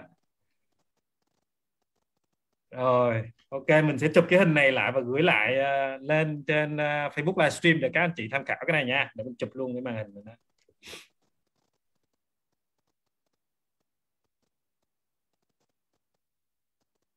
Rồi. Ok. Mình sẽ gửi lại lên trên uh, cái để đây cho mọi người thì rồi trong khi ờ, các nhà đầu tư tiếp tục ờ, đưa cái lựa chọn cho mình thì mình xin sơ kết tổng kết lại cái buổi thảo luận ngày hôm nay ha. À, về cái bức tranh kinh tế vĩ mô thì mặc dù là ngắn hạn có một số cái thách thức vẫn còn nhưng mà với cái tiến độ cái chiến lược à, đẩy mạnh vaccine như này thì các chuyên gia tự tin rằng là chúng ta sẽ vượt qua khó khăn và có một cái triển vọng tăng trưởng khá tốt trong quý 4 cũng như là 2022 à, về dài hạn đặc biệt là dài hạn vẫn còn rất là ok. Về thị trường chứng khoán thì uh, triển vọng vẫn còn rất sáng sủa và định giá không hề đắt đúng không ạ? Với uh, cái mặt bằng hiện tại và cũng như là cái triển vọng lợi nhuận trong uh, năm sau và các năm tới. Về lựa chọn cho các ý tưởng đầu tư à, phân bổ tài sản thì à, các chuyên gia vẫn rất là tự tin cho kênh cổ phiếu ở giai đoạn này. Các cái câu chuyện về nhóm ngành đầu tư thì chúng ta ưu tiên là sau covid á, thì ờ, nhà đầu tư sẽ thay đổi cái thói quen. Cho nên là những cái, cái câu chuyện trong nhóm ngành bán lẻ thương mại điện tử này chứng khoán này công nghệ nền tảng FPT này rồi câu chuyện của Trung Quốc thay đổi chính sách thì có ngành thép ngành xuất khẩu phốt pho xi măng và câu chuyện của xe điện này. À, ok câu chuyện ngành bảo hiểm y tế thương mại điện tử ngân hàng bất động sản. Đấy, và trong nhóm ngành năng lượng nữa. Ngoài ra thì có thêm câu chuyện đầu tư công cũng rất là hấp dẫn. Đấy, còn về lựa chọn cho index cuối năm 2021 thì đa số là đang khá là thận trọng là lăn quanh mức này thôi từ 1.300 đến 1.400 và lựa chọn cho top 3 cổ phiếu đáng đầu tư nhất thì uh, các nhà đầu tư chọn là Techcombank, Hòa Phát và MWG, FPT đó, trong cái nhóm đó MBB, VND rồi như vậy là chúng ta đã trải qua uh, hơn một tiếng rưỡi để thảo luận rồi. Thì uh, uh, chúng tôi hy vọng rằng là ý kiến của các panelist đã mang lại cho các quý nhà đầu tư một cái nhìn uh, để tham khảo xung quanh câu chuyện về vĩ mô về thị trường các ý tưởng đầu tư và các cơ hội cho uh, năm quý 4 và cho năm tới. Uh, và xin thay mặt đội ngũ VNREX xin gửi lời uh, À, cảm ơn chân thành đến các quý nhà đầu tư đã lắng nghe và trao đổi rất nhiệt tình cùng chúng tôi. Mặc dù là còn rất nhiều câu hỏi uh, chưa kịp trả lời nhưng vì là thời gian có hạn nên là chúng tôi sẽ xin phép là là có thể sẽ tìm cách ừ, trả lời các anh chị sau nha. Và uh, xin à, chúc các quý nhà đầu tư có một uh, quý 4 đúng không? và năm 2022 đầu tư thật là thành công. Uh, thành công thành công lớn á. Rồi uh, xin tạm biệt và hẹn gặp lại mọi người vào uh, Ờ, tháng tới của cái chương trình đi inside. Cuối tháng này chúng tôi sẽ thảo luận cho tháng tháng tháng sau à, à, xin ờ, cảm ơn anh Hoàng chị Hiền và anh Tuấn đã rất là nhiệt tình chia sẻ với các quý nhà đầu tư. Tôi xin kết thúc cái chương trình lần này xin tạm biệt. Hy vọng những thông tin trên sẽ giúp quý vị có một quyết định đầu tư chính xác. Đừng quên like, share và subscribe kênh youtube của VN Direct. Và hãy bấm nút chuông để nhận những thông báo mới nhất còn bây giờ, xin chào và hẹn gặp lại.